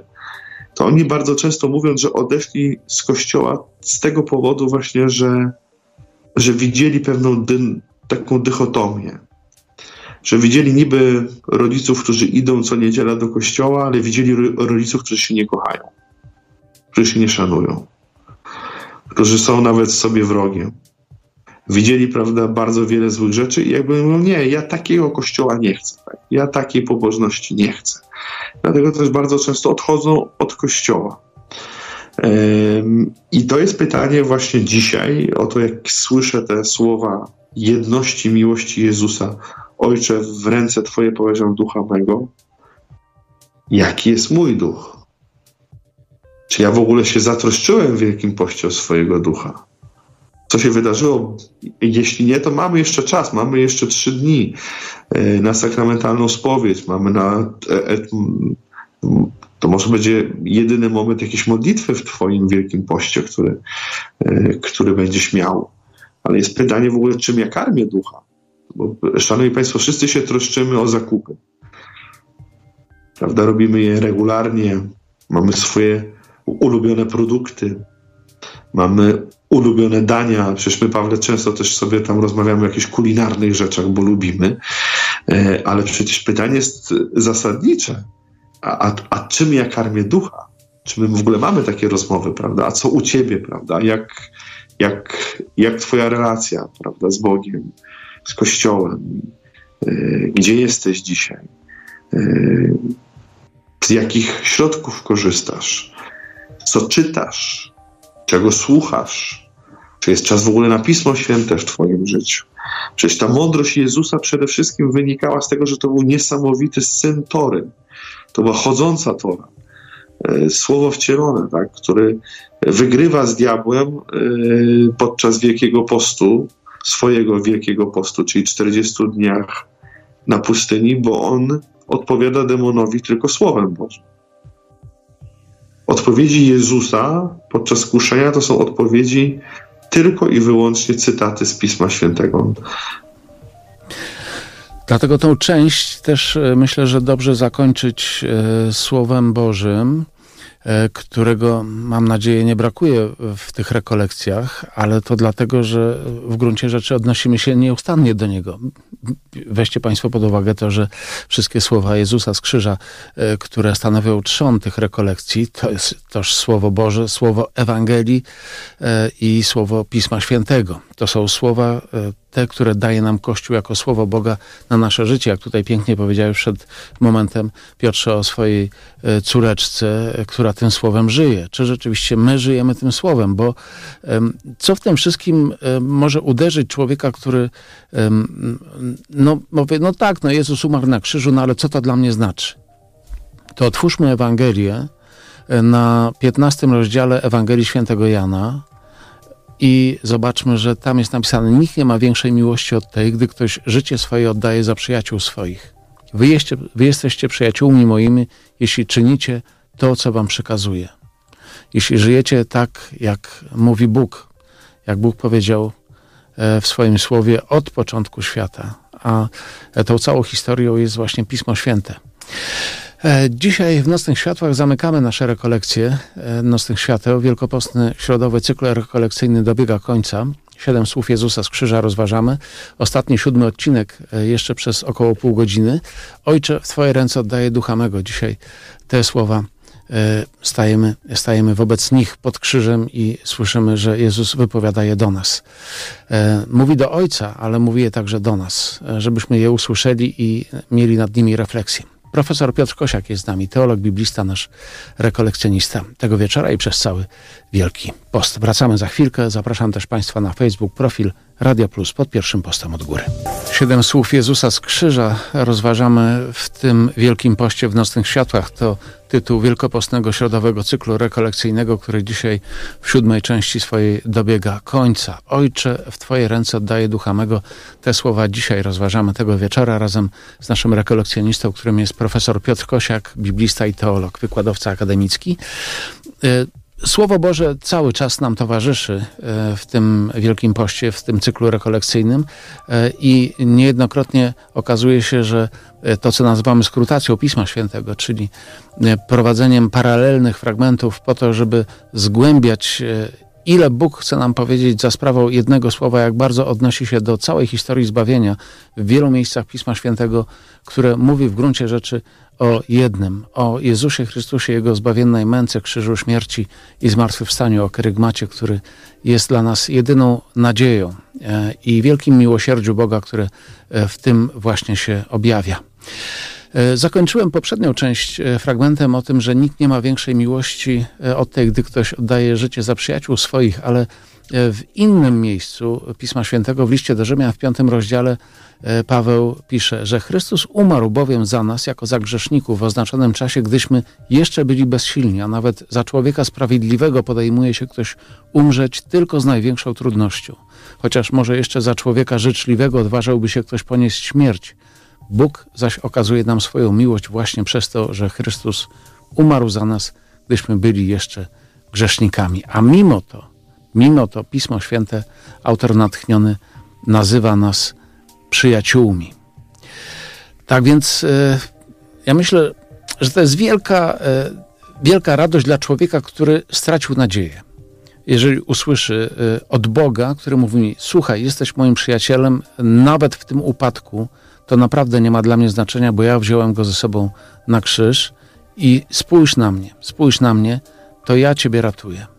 Ja Ciebie zapraszam. Ten Wielki Post dobiega końca. Rekolekcję e, właściwie w ostatnim dniu Wielkiego Postu zaczęliśmy, bo e, Wielki Czwartek, post, Wielki Post się kończy, a zaczyna się święte Triduum Paschalne. To jest ostatni moment Wielkiego Postu, tak na dobrą sprawę. E, już e, dzisiaj, można powiedzieć, Wielki Czwartek między mm, mszą świętą wieczer, między mszą świętą Krzyżma, a mszą świętą Wieczerzy Państwa, Pańskiej jest taki czas zawieszony. To jest taki trochę interludium między Wielkim Postem a świętym Triduum Paschalnym, e, w którym rzeczywiście możemy jeszcze mieć chwilę refleksji nad tym Wielkim Postem i zobaczyć, z czym wchodzimy w, to, w ten najświętszy, największy, najspanialszy, najgłębszy, niezgłębiony czas roku. Tak, szanowni państwo, myślę, że to jest też taki piękny y, fragment Pisma Świętego, który, y, który może nam pokazać, że nawet jeśli zawaliłeś Wielki Post i nie dbałeś o tego ducha i ten Wielki Post przeleciał ci nawet nie wiesz kiedy, nawet nie wiesz y, za bardzo, co się w nim wydarzyło, i nie miałeś w ogóle styczności ze swoim duchem, jakąś pobożnością, spowiedzią, e, a może nawet za bardzo nie chcesz, ale te słowa, które dzisiaj słyszysz, może cię poruszają do tego, że, że jednak Bóg ciebie kocha, że Bóg kocha ciebie właśnie jako, jako grzesznika, sam stał się grzechem. Znowu chcę wrócić do tego momentu, on oddaje dobrowolnie swoją moc Bożą, stając się grzechem po to, żeby twój grzech został zbawiony, żeby został usprawiedliwiony. Tylko jeśli ty będziesz chciał e, się na to zgodzić i powierzyć mu swojego ducha, e, powierzyć mu e, samego siebie, to, to jest jeszcze na to szansa. Czy właśnie jest szansa na to, żebyś, drogi słuchaczu, droga słuchaczko, no przede wszystkim uwierzyła w to, że Bóg cię kocha za darmo że tutaj nie jest potrzebna wielka lista, prawda, peanów, co ci się udało w Wielkim Poście. Znaczy chwała za to wam, szanowni państwo, jeśli się wiele rzeczy wam udało zrobić, ale mam nadzieję, że w tych rekolekcjach jakby chcieliśmy e, Pawle pokazać, że że to nie chodzi tutaj o jakiś fitness duchowy, prawda? Że tutaj nie chodzi, że prawda, tak, tam ani, kolki się... Tak, stachanowskie wyczyny jakieś postne. Tak, no, nie chodzi o przekraczanie norm. Tak, no, bo ja, ja, pamiętam z dzieciństwa, jak miałem takie dwie, po, dwa postanowienia, które jakby przez dłuższy okres szkoły podstawowej, nawet liceum, gdzieś starałem się mocno przestrzegać, czyli słodycze i Coca-Cola. Przez Wielki Post tego nie piłem. I ja pamiętam zawsze, Pawle, jak człowiek wrócił z tej rezurekcji czy z Paschy i te śniadanie, prawda, i jak tylko się dorwałem do tej coli, to prawda, trzy szklanki, ból brzucha, prawda i ból brzucha i później nic na święta człowiek nie mógł zjeść, no bo, no bo przecież głodny z tego wszystkiego był. E, to nie o to chodzi, szanowni państwo. Chodzi o to właśnie, żeby być może po raz pierwszy świadomy powiedzieć, Boże, ja Cię kocham, oddaję Ci to wszystko, co mam. To wcale nie był może łatwy czas dla mnie w tym, w tym wielkim poście. Wiele rzeczy się trudnych może wydarzyło, ale chcę Ci to, chcę ci to oddać. Chcę, chcę po prostu y, mieć z Tobą relację. Bo, Szanowni Państwo, myślę, że takim ważnym momentem, y, do którego cały czas próbuję dojść, y, to jest homilia Jana Chryzostoma, która mnie bardzo porusza. To jest homilia, która jest czytana w liturgii e, e, najczęściej właśnie w Wielkim Piątku. Tytuł to jest Jezus, e, to są rozważania śmierci Jezusa, Wielki Post. I tutaj to jest słowo, słowo niezwykłe. Tutaj muszę, muszę wtrącić Piotrze, bo to jest rzeczywiście coś, e, co można smakować każdego dnia roku, bo, tekst, który ma tak wielką głębię teologiczną, ale jednocześnie e, taką wielką moc poruszania ducha i serca, że nie tylko w Triduum Paschalnym e, polecam lekturę tego tekstu. Za chwilę, za chwilę postaram się go znaleźć i, i tutaj i, i, go zamieścić na Facebooku, bo, bo to jest rzeczywiście niezwykła niezwykła treść, która e, porusza serce bez względu na, na porę dnia, roku. Już Piotrze znowu oddaję Ci głos. Przepraszam za, za, za, za wtrącenie. Nie, absolutnie. Bardzo się cieszę, bo to, to jest moja ulubiona y, homilia ojców Kościoła. Jan Chryzostom, tak zwany Jan Złotousty, biskup Konstantynopola, pisarz wczesnochrześcijański, ojciec Kościoła, nazywany jednym z największych kaznodziei Kościoła wschodnio-rzymskiego, e, doktor oczywiście Kościoła, święty Kościoła katolickiego i oczywiście także e, cerkwi prawosławnej. E, no, jeśli kogoś się nazywa Janem Złotoustym, no to wiadomo dlaczego, prawda? I, i mam nadzieję, że jak Państwo przeczytają całą tą homilię, a chciałbym Państwa o to poprosić, żebyście znaleźli taki czas, czy Wielki Czwartek, czy Wielki Piątek, czy może Wielką Sobotę, jak będziecie u grobu Pańskiego gdzieś sobie tą e, homilię wydrukować, czy mieć ją na telefonie, otworzyć i po prostu tak w skrytości ducha przeczytać tam jest wiele wspaniałych wątków wielkopiątkowych, jakby rozumienia śmierci Jezusa Chrystusa. Coś, co mnie bardzo porusza i, i chciałbym, żeby to było punktem takim kulminacyjnym tego naszego ostatniego dnia rekolekcji, to jest to, że właśnie jeśli się nie powierzy ducha Jezusowi, jeśli się nie ma z nim relacji, to po prostu można się z nim minąć. Można być bardzo blisko, ale po prostu się z nim minąć. Nie wykorzystać tej sytuacji. A być może to jest jedyna sytuacja, która będzie świadczyła o Twoim zbawieniu. Może to jest ten moment, my tego nie wiemy. Ale to może to jest ten właśnie moment, gdzie, gdzie przecież sam Jezus mówił do Piotra o, o to, prawda, domagają się Twojej duszy, prawda, żebym Was przesiał. Demon tego chce. A ja za tobą staję, Piotrze, mówi Jezus, jakby dopowiadając w tym, w tym, w tym, w tym pięknym fragmencie. E, przecież tam mamy wiele osób, które towarzyszą Jezusowi, a go nie odnajdują. Piłat, który z jakiegoś powodu jest nieźle wykształconym prokonsulem rzymskim, zbudowanym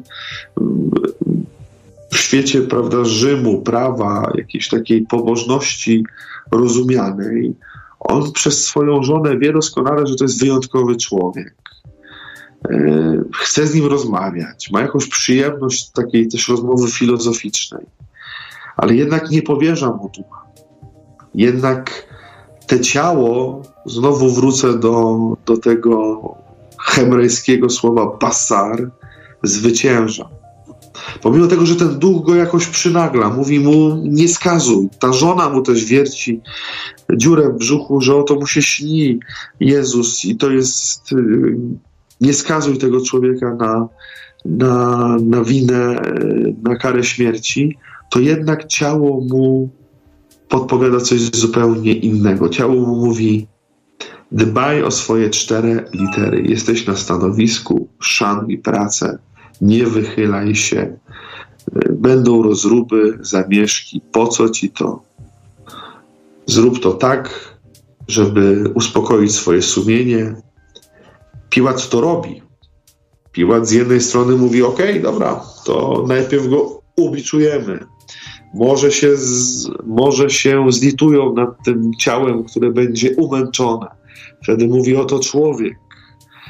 Przecież on jest niejako przez niego się dokonuje, Pawle, yy, Izajasz.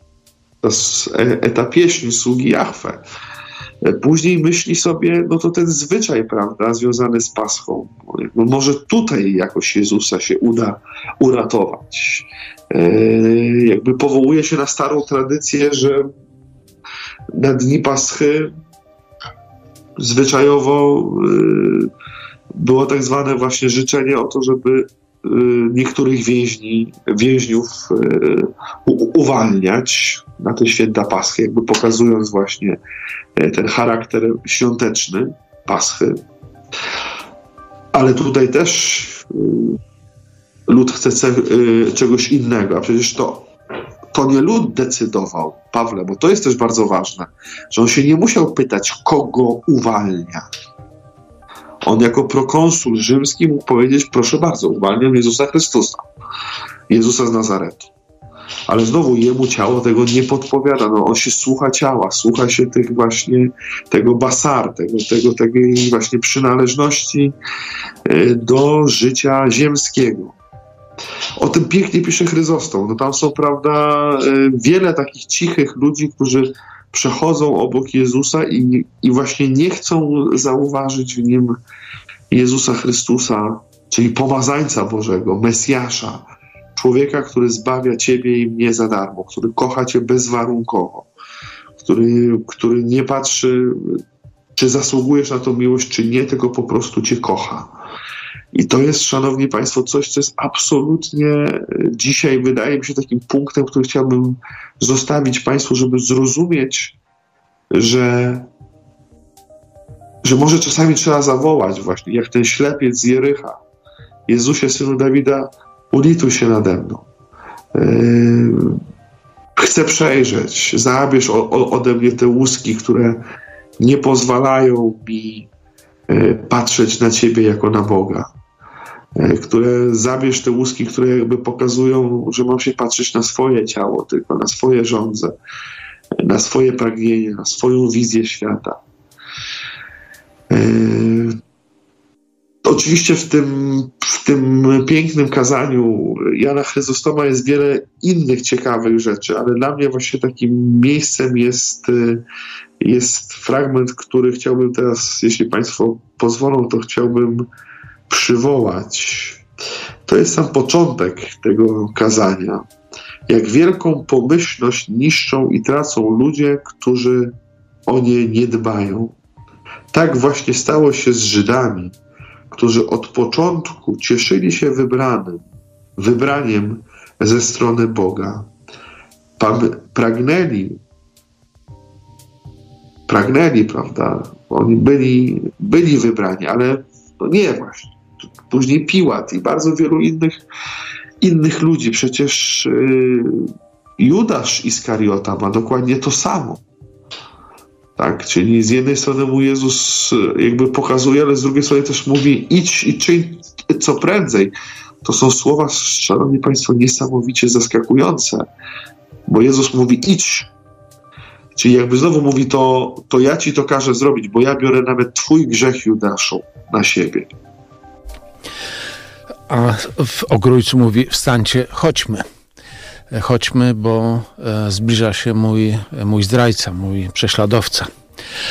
E, na Facebooku znajdą Państwo nie tylko mowę, e, mowę chrzcielną, katechezę chrzcielną świętego Jana Chryzostoma, E, moc krwi Chrystusowej, którą zamieściłem, ale także e, wspaniałą, głęboką, piękną homilię paschalną Melitana Sardes, e, biskupa, o baranku złożonym w ofierze, który wyrwał nas ze śmierci, aby dać nam życie. I polecam Państwu to słowo nie tylko na ten moment. Ono jest na tyle obszerne, że um, można zabrać je ze sobą właśnie w to triduum paschalne, które e, właściwie już za moment już się rozpoczyna, ale my jeszcze będziemy przez chwilę z Państwem, bo Nocne Światła co prawda dobiegają końca, a tym samym rekolekcje wielkopostne Nocnych Świateł e, Siedem słów Jezusa z krzyża, siódmy odcinek dzisiaj i e, słowa Ojcze, w Twoje ręce oddaję ducha mego, które rozważamy tego wieczora razem z naszym gościem, rekolekcjonistą, profesorem Piotrem Kosiakiem, teologiem i biblistą. E, za chwilę wracamy do Państwa na ostatnie chwile. Oczywiście będziemy też zaglądać do tego, co Państwo, czym Państwo się dzielicie z nami, e, Państwa refleksjami, e, które zamieszczacie na Facebooku, na profilu Radia Plus pod pierwszym postem od góry. Tam jest na to miejsce jeszcze przez ostatnie minuty nocnych świateł, które po piosence jeszcze przed nami. Za kilka minut minie godzina pierwsza, ostatnie chwile tego wydania Nocnych Świateł, które e, tego wieczora e, jednocześnie kończą i Wielki Post, i e, rekolekcje wielkopostne Nocnych Świateł, które zatytułowaliśmy Siedem słów Jezusa z krzyża. Ten czas to także dzięki Państwu przeżyty które też Państwo wzbogaciliście swoimi e, wpisami na Facebooku, bo oprócz tego, że naszym rekolekcjonistą e, przez cały Wielki Post był i jest tego wieczora profesor Piotr Kosiak, teolog, biblista, wykładowca akademicki z Collegium Civitas, to Państwo także te rekolekcje prowadzili razem z nami. Siedem słów Jezusa z krzyża. Dzisiaj rozważamy te słowa Ojcze, w Twoje ręce oddaję ducha mego, ale też czytamy to, co mówią ojcowie Kościoła, to, co mówią doktorowie Kościoła, to, co mówi Meriton Sardes, to, co mówi święty Jan Chryzostom, który rozważa e, opis śmierci Jezusa. Ten opis zamieściłem na Facebooku, ale jako link, nie jako nie jako słowa, które literalnie Państwo możecie przeczytać czy skopiować. Ten komentarz jest na tyle obszerny, że nie mieści się w komentarzach, w związku z tym znajdziecie Państwo link do niego. Ale też za, mm, za to, co Państwo piszecie, dziękujemy i chcemy tutaj na koniec także Państwa słowa słowa przytoczyć, bo na przykład Małgorzata pisze, z jednej strony jest to piękne dokończenie poprzedniego słowa. Dokonało się, razem tworzył takie podsumowanie życia. Ojcze, zrobiłem wszystko, co miałem zrobić, wracam do domu. Ale też patrząc z perspektywy zwykłego grzesznika, człowieka, widzę w tych słowach postawę wielkiego, pełnego zaufania najlepszemu przyjacielowi, ojcu, o którym mam pewność, że chce dla mnie tylko dobra. Jest to dla mnie wyraz też gotowości. Rób ze mną co chcesz. Pięknie powiedziała o tym we wczorajszej audycji pani Mira Jankowska. Ja chcę temu się poddawać i wtedy ja ufam jemu, bo wiem, że on chce dobrze ze mną to zrobić. I taką postawę widzę w tych słowach z tą różnicą, że Jezus powiedział oddaję, ja natomiast mogę powiedzieć nie umiem, ale chcę. I jeszcze trzecia myśl, Jezus zaczął od słowa Ojcze. My zwykle mówimy Boże, Panie, Panie Boże. A jak często mówimy właśnie Ojcze? Hm, ja tutaj dodam od siebie tatusiu może nawet. Jakże to pięknie musi być, y, czuć się dzieckiem Bożym i mówić do Niego zwyczajnie tato. Życzę tego wszystkim, abyśmy w te święta właśnie tak się poczuli.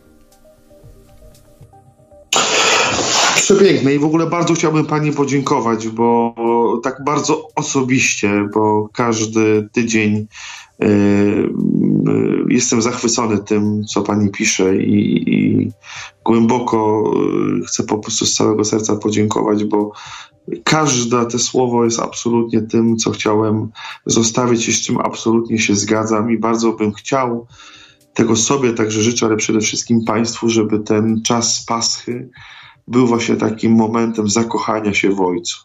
Żebyśmy mogli powiedzieć, tatusiu, chcę z Tobą zmartwychwstać, chcę, żeby moja rodzina zmartwychwstała, żeby, e, żeby to naprawdę były święta radosne, żebyśmy mogli powiedzieć Alleluja e, z wiarą w to, że nie ma takich problemów, których Jezus nie rozwiąże, nie ma takich, wę, takich węzłów, które są nie do rozwiązania, e, ale właśnie w tej, w tej, w tej optyce tatuś, ojciec, w takiej niesamowitej łączności. To jest coś, co jest bardzo pięknego i też pozwoliłem sobie wkleić przed chwilą taki piękny moment, taki piękny zdjęcie, które gdzieś znalazłem niedawno w, w internecie, gdzie Jezus wydobywa z grobu, wyciąga z grobu nas. Tak, to z jest cytatem z księgi Ezechiela. Tak, to jest wizja Paschy, to jest Pascha, szanowni państwo. Każdy z nas jakieś groby ma, gdzie nie ma Boga, gdzie nie ma nadziei, gdzie jest pustka, ciemność. Po to jest Wielkanoc. Sam Jezus chce wejść do tego grobu i ciebie z tego, z, te, z tego grobu właśnie wydobyć. I na ikonie Anastazis e, tak właśnie jest. Jezus, o czym mówiliśmy już wielokrotnie w tym cyklu i nie tylko, na ikonie Anastazis kruszy więzy śmierci po to, żeby otchłani, z otchłani wrócić zwycięski, ale zwycięski dlaczego? Bo nie tylko odzyskał życie, a właściwie nigdy go nie stracił, bo miał je od Ojca, ale myśmy odzyskali życie dzięki niemu, bo przecież wyprowadza e, z tego grobu grzechów Adama i Ewę i wszystkich, którzy w tej otchłani oczekiwali na Jezusa, na Mesjasza, który przyjdzie i te więzy śmierci skruszy właśnie. E, chcę też e, zwrócić tutaj uwagę na, na to, co myślę w imieniu trochę świetlików, tak, tak to odczytuję, napisał na koniec Michał. Już w tym momencie pragnę podziękować za cały cykl prowadzącym, a także świetlikom, przechodząc i wspominając wszystkie te krótkie, a jakże bogate wyrażenia wypowiedziane przez Mesjasza. Odkrywam piękną nauki, jaką Jezus do samego końca ziemskiego życia pragnął się z nami dzielić. I to ostatnie słowo konającego Boga, człowieka, które brzmi mi w uszach, w świadomości mojej grzeszności i trudności, jakie przyjdzie mi podjąć na drodze dalszego życia, kieruje kierują mnie w tej, e, do chwili mojej śmierci, abym wtedy był gotów powtórzyć, Ojcze, w Twoje ręce powierzam ducha mojego. Panie Michale, no pięknie, pięknie Pan pisze i to jest bardzo głębokie, bo rzeczywiście no też ten wątek prze, przewinął nam się dzisiaj przez naszą rozmowę, że w gruncie rzeczy Jezus na krzyżu jest e, tym, który mówi do nas, pamiętajcie o tym, że wasze życie na ziemi jest skończone e, i ja jestem waszym przewodnikiem we wszystkim, absolutnie we wszystkim, od początku do końca, od moich narodzin tutaj na świecie, aż po te ostatnie chwile na krzyżu. I e, przez te narodziny, nauczanie, e, słowo, przez wszystko, co Wam przekazuję, przede wszystkim sobą i to, jaki jestem wobec ludzi, wobec sytuacji, w których mnie widzicie w Ewangelii, aż do tej ostatniej na krzyżu, ja jestem Waszym przewodnikiem. I naprawdę wszystko możecie mieć, wszystko. Nie te śmieci, które zostawicie na, śmieci, na, na świecie, które świat Wam oferuje, ale ja Wam daję ducha, który Was może zaprowadzić razem ze mną w ręce Ojca. I tej miłości z krzyża e, Państwu z całego serca i sobie i Tobie, Pawle, e, życzę, żebyśmy właśnie mogli e, pić z tego kielicha otwartego. Ten krzyż to jest kielich, który jutro Pan Jezus podczas ostatniej, dzisiaj już podczas ostatniej wieczerzy uczyni swoim, swoją krwią. Z całego serca chcę Państwu bardzo podziękować za te bardzo bogate, piękne Wasze komentarze. Byliście bohaterami, współtwórcami tych naszych rekolekcji, tej naszej wspólnej drogi e, do Paschy, do przygotowania się e, z zmartwychwstałym Jezusem. E, z całego serca chcę Wam bardzo, bardzo podziękować. To był także dla mnie ważny Wielki Post, y, ważne też rekolekcje. Dziękuję Pawle za zaufanie po raz kolejny y, i niech Pan Bóg Was ma w swojej opiece.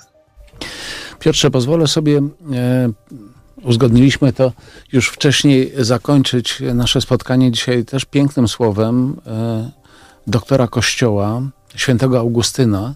To jest jego komentarz, e, komentarz do Ewangelii świętego Jana. E, święty biskup, biskup Hipony, święty Augustyn, wielka postać dla Kościoła, ten, który położył podwalinę pod całą filozofię chrześcijańską, pisze o pełni miłości w ten sposób. Pełnię miłości, którą winniśmy się bracia najdrożsi wzajemnie kochać, określił sam Pan mówiąc, nie ma większej miłości od tej, gdy ktoś życie swoje oddaje za przyjaciół swoich. Wniosek, jaki z tego wyciąga święty Jan Ewangelista w swoim liście, jest następujący. Jak Chrystus oddał za nas życie swoje, tak i my winniśmy oddać życie za braci. Miłując się wzajemnie tak, jak On nas umiłował i oddał za nas swoje życie. A oto, co na ten temat czytamy w Księdze Przysłów Salomona. Gdy z możnym do stołu usiądziesz, pilnie uważaj, co położono przed tobą, a wyciągając swoją rękę, wiedz, że i ty musisz to samo przygotować. Cóż jest stołem możnego, jeśli nie ten stół, skąd bierzemy ciało i krew Chrystusa, który oddał za nas swoje życie? A co znaczy zasiadać przy tym stole, jeśli nie przystępować doń z pokorą? Co oznacza uważać pilnie na potrawy, które kładą przed tobą, jeśli nie to, żeby godnie myśleć o tak wielkiej łasce? I cóż wreszcie znaczy wyciągnąć rękę i wiedzieć, że masz przygotować takie same potrawy, jeśli nie to, o czym już mówiłem, a mianowicie, że Chrystus oddał za nas swoje życie, więc i my powinniśmy oddać życie za naszych braci. Mówi bowiem święty Piotr Apostoł: Chrystus cierpiał za nas, zostawiając nam przykład, abyśmy wstępowali w jego ślady. To oznacza przygotować takie same potrawy. Uczynili tak męczennicy, płonąc gorącą miłością, jeśli nie czcimy na próżno ich pamięci, to przystępując do stołu pańskiego i biorąc udział w uczcie, którą i oni się sycili, trzeba byśmy za ich przykładem przygotowali również co należy. Dlatego nie wspominamy ich przy stole pańskim tak jak tych, którzy spoczywają w pokoju. Za nich bowiem my się modlimy, podczas gdy tamci modlą się za nas, abyśmy szli w ich ślady. Oni wypełnili nakaz miłości, od której według słów Pana nie ma nic większego. Dali bowiem braciom to, co sami wzięli ze stołu pańskiego. Nie należy jednak myśleć, że możemy stać się równi Chrystusowi wówczas, gdy dawano o nim świadectwo, doprowadzimy aż do przelania krwi. On bowiem miał moc oddać swoje życie i miał moc odzyskać je z powrotem. My zaś ani nie żyjemy tyle, ile byśmy chcieli, a umieramy, choćbyśmy jeszcze nie chcieli. On umierając zniszczył w sobie śmierć, my zaś przez Jego śmierć uwalniamy się od naszej śmierci.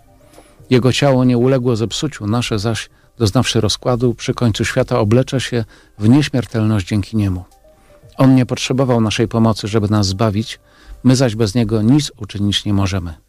On stał się szczepem winnym dla nas latorośli, bo my poza Nim nic nie możemy mieć z życia. W końcu, jeżeli nawet bracia umierają za braci, to ich krew męczeńska nie może być w żaden sposób wylana na odpuszczenie grzechów tych braci, tak jak Chrystus uczynił to za nas.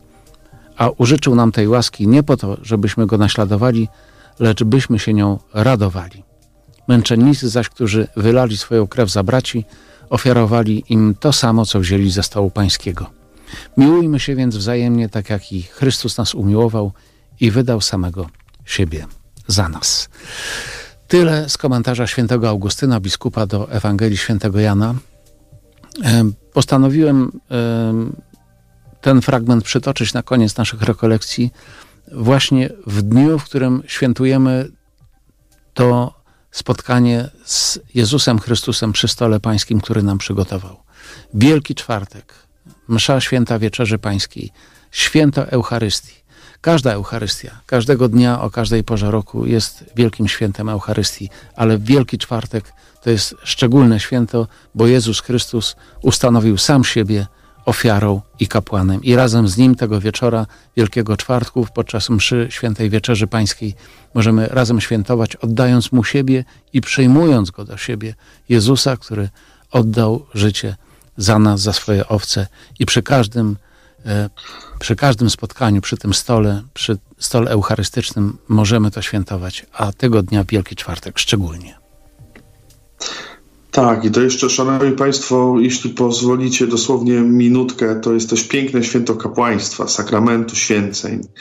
Warto jest w tym dniu, jakże trudnym w XXI wieku, widzimy ile jest ataku na Kościół, ten instytucjonalny, jak, jak, jak e, wiele trudnych chwil przeżywamy. Często też y, y, one wymagają oczyszczenia i dobrze, że są, ale myślę, że warto jest Wielki Czwartek pomyśleć dobrze w modlitwie o księżach w naszej parafii, gdzie jesteśmy, czy w środowisku, w którym pracujemy.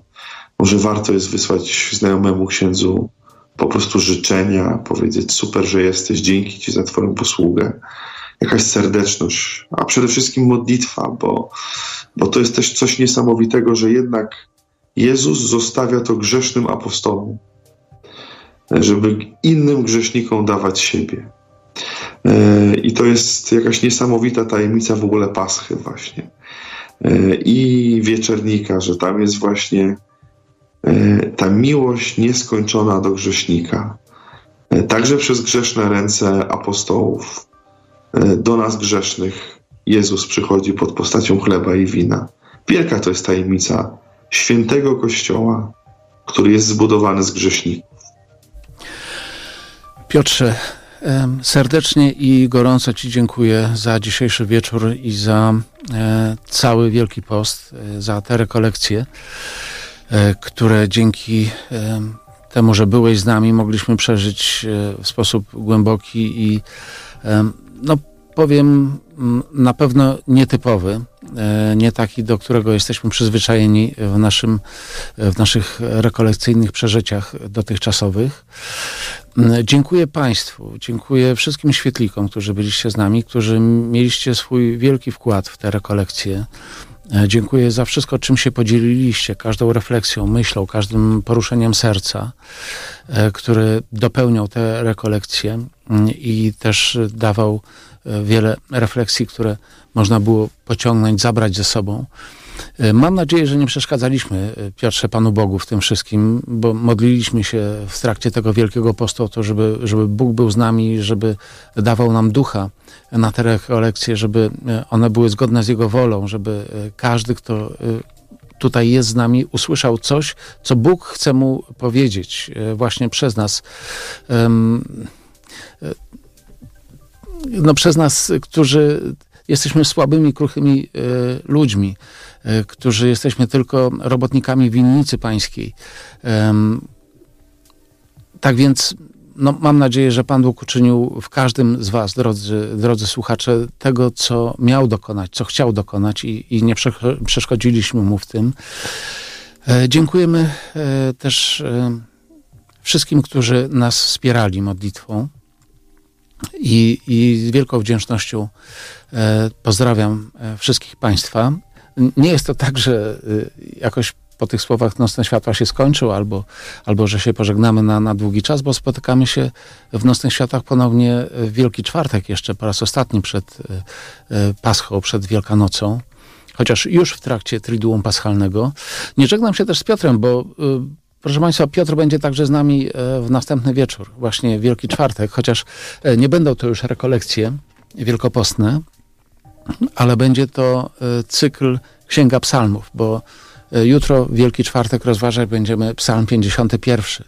Ale to też dlatego, że ta noc jutrzejsza to jest noc, którą Pan Jezus spędza w ciemnicy e, i e, z której jest wyprowadzony na, na sąd, w wyniku którego został zaprowadzony na krzyż. I to jest ten psalm pokutnika, psalm Dawidowy, który no, jak Państwo doskonale wiecie, bo do niego nawiązywaliśmy niejednokrotnie w Nocnych Światłach, jest tym psalmem, e, który jest wołaniem o miłosierdzie. A jakie jest źródło miłosierdzia? Tym źródłem miłosierdzia jest Wielkopiątkowy Krzyż Jezusa Chrystusa, a ta jutrzejsza noc Wielkiego Czwartku na Wielki Piątek niech nas do tego wprowadza w tym, w tym rozważaniu e, psalmu 51. Do tego Państwa zapraszamy jako e, pewne postscriptum.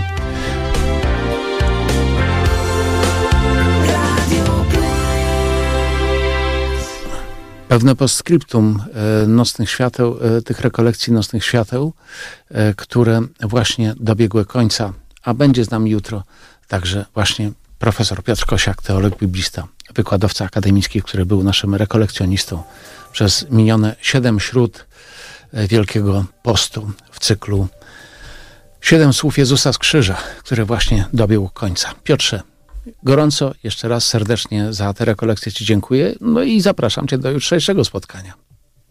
Ja bardzo jeszcze raz dziękuję Państwu y, i jestem przekonany, że jutro będziemy kontynuowali tą tajemnicę Bożego miłosierdzia, psalmu pokutnika, postaci Dawida, i myślę, że to będzie też piękne towarzyszenie Jezusowi w ciemnicy.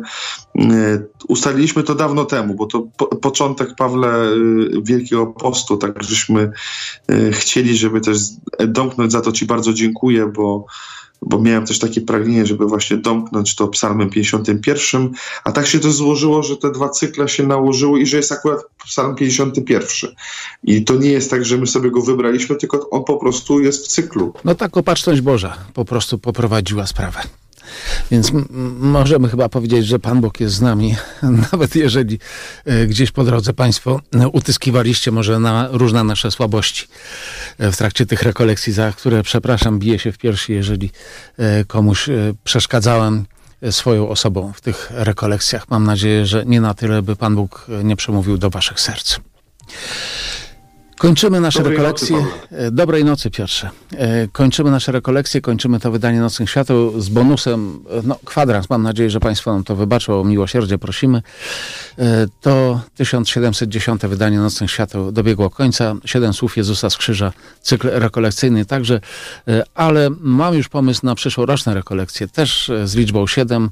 Nie wiem, co Piotrze na to powiesz, czy przyjmiesz zaproszenie. Myślę o siedmiu listach do kościołów e, Apokalipsy. Apokalipsy Jana. Apokalipsy Jana.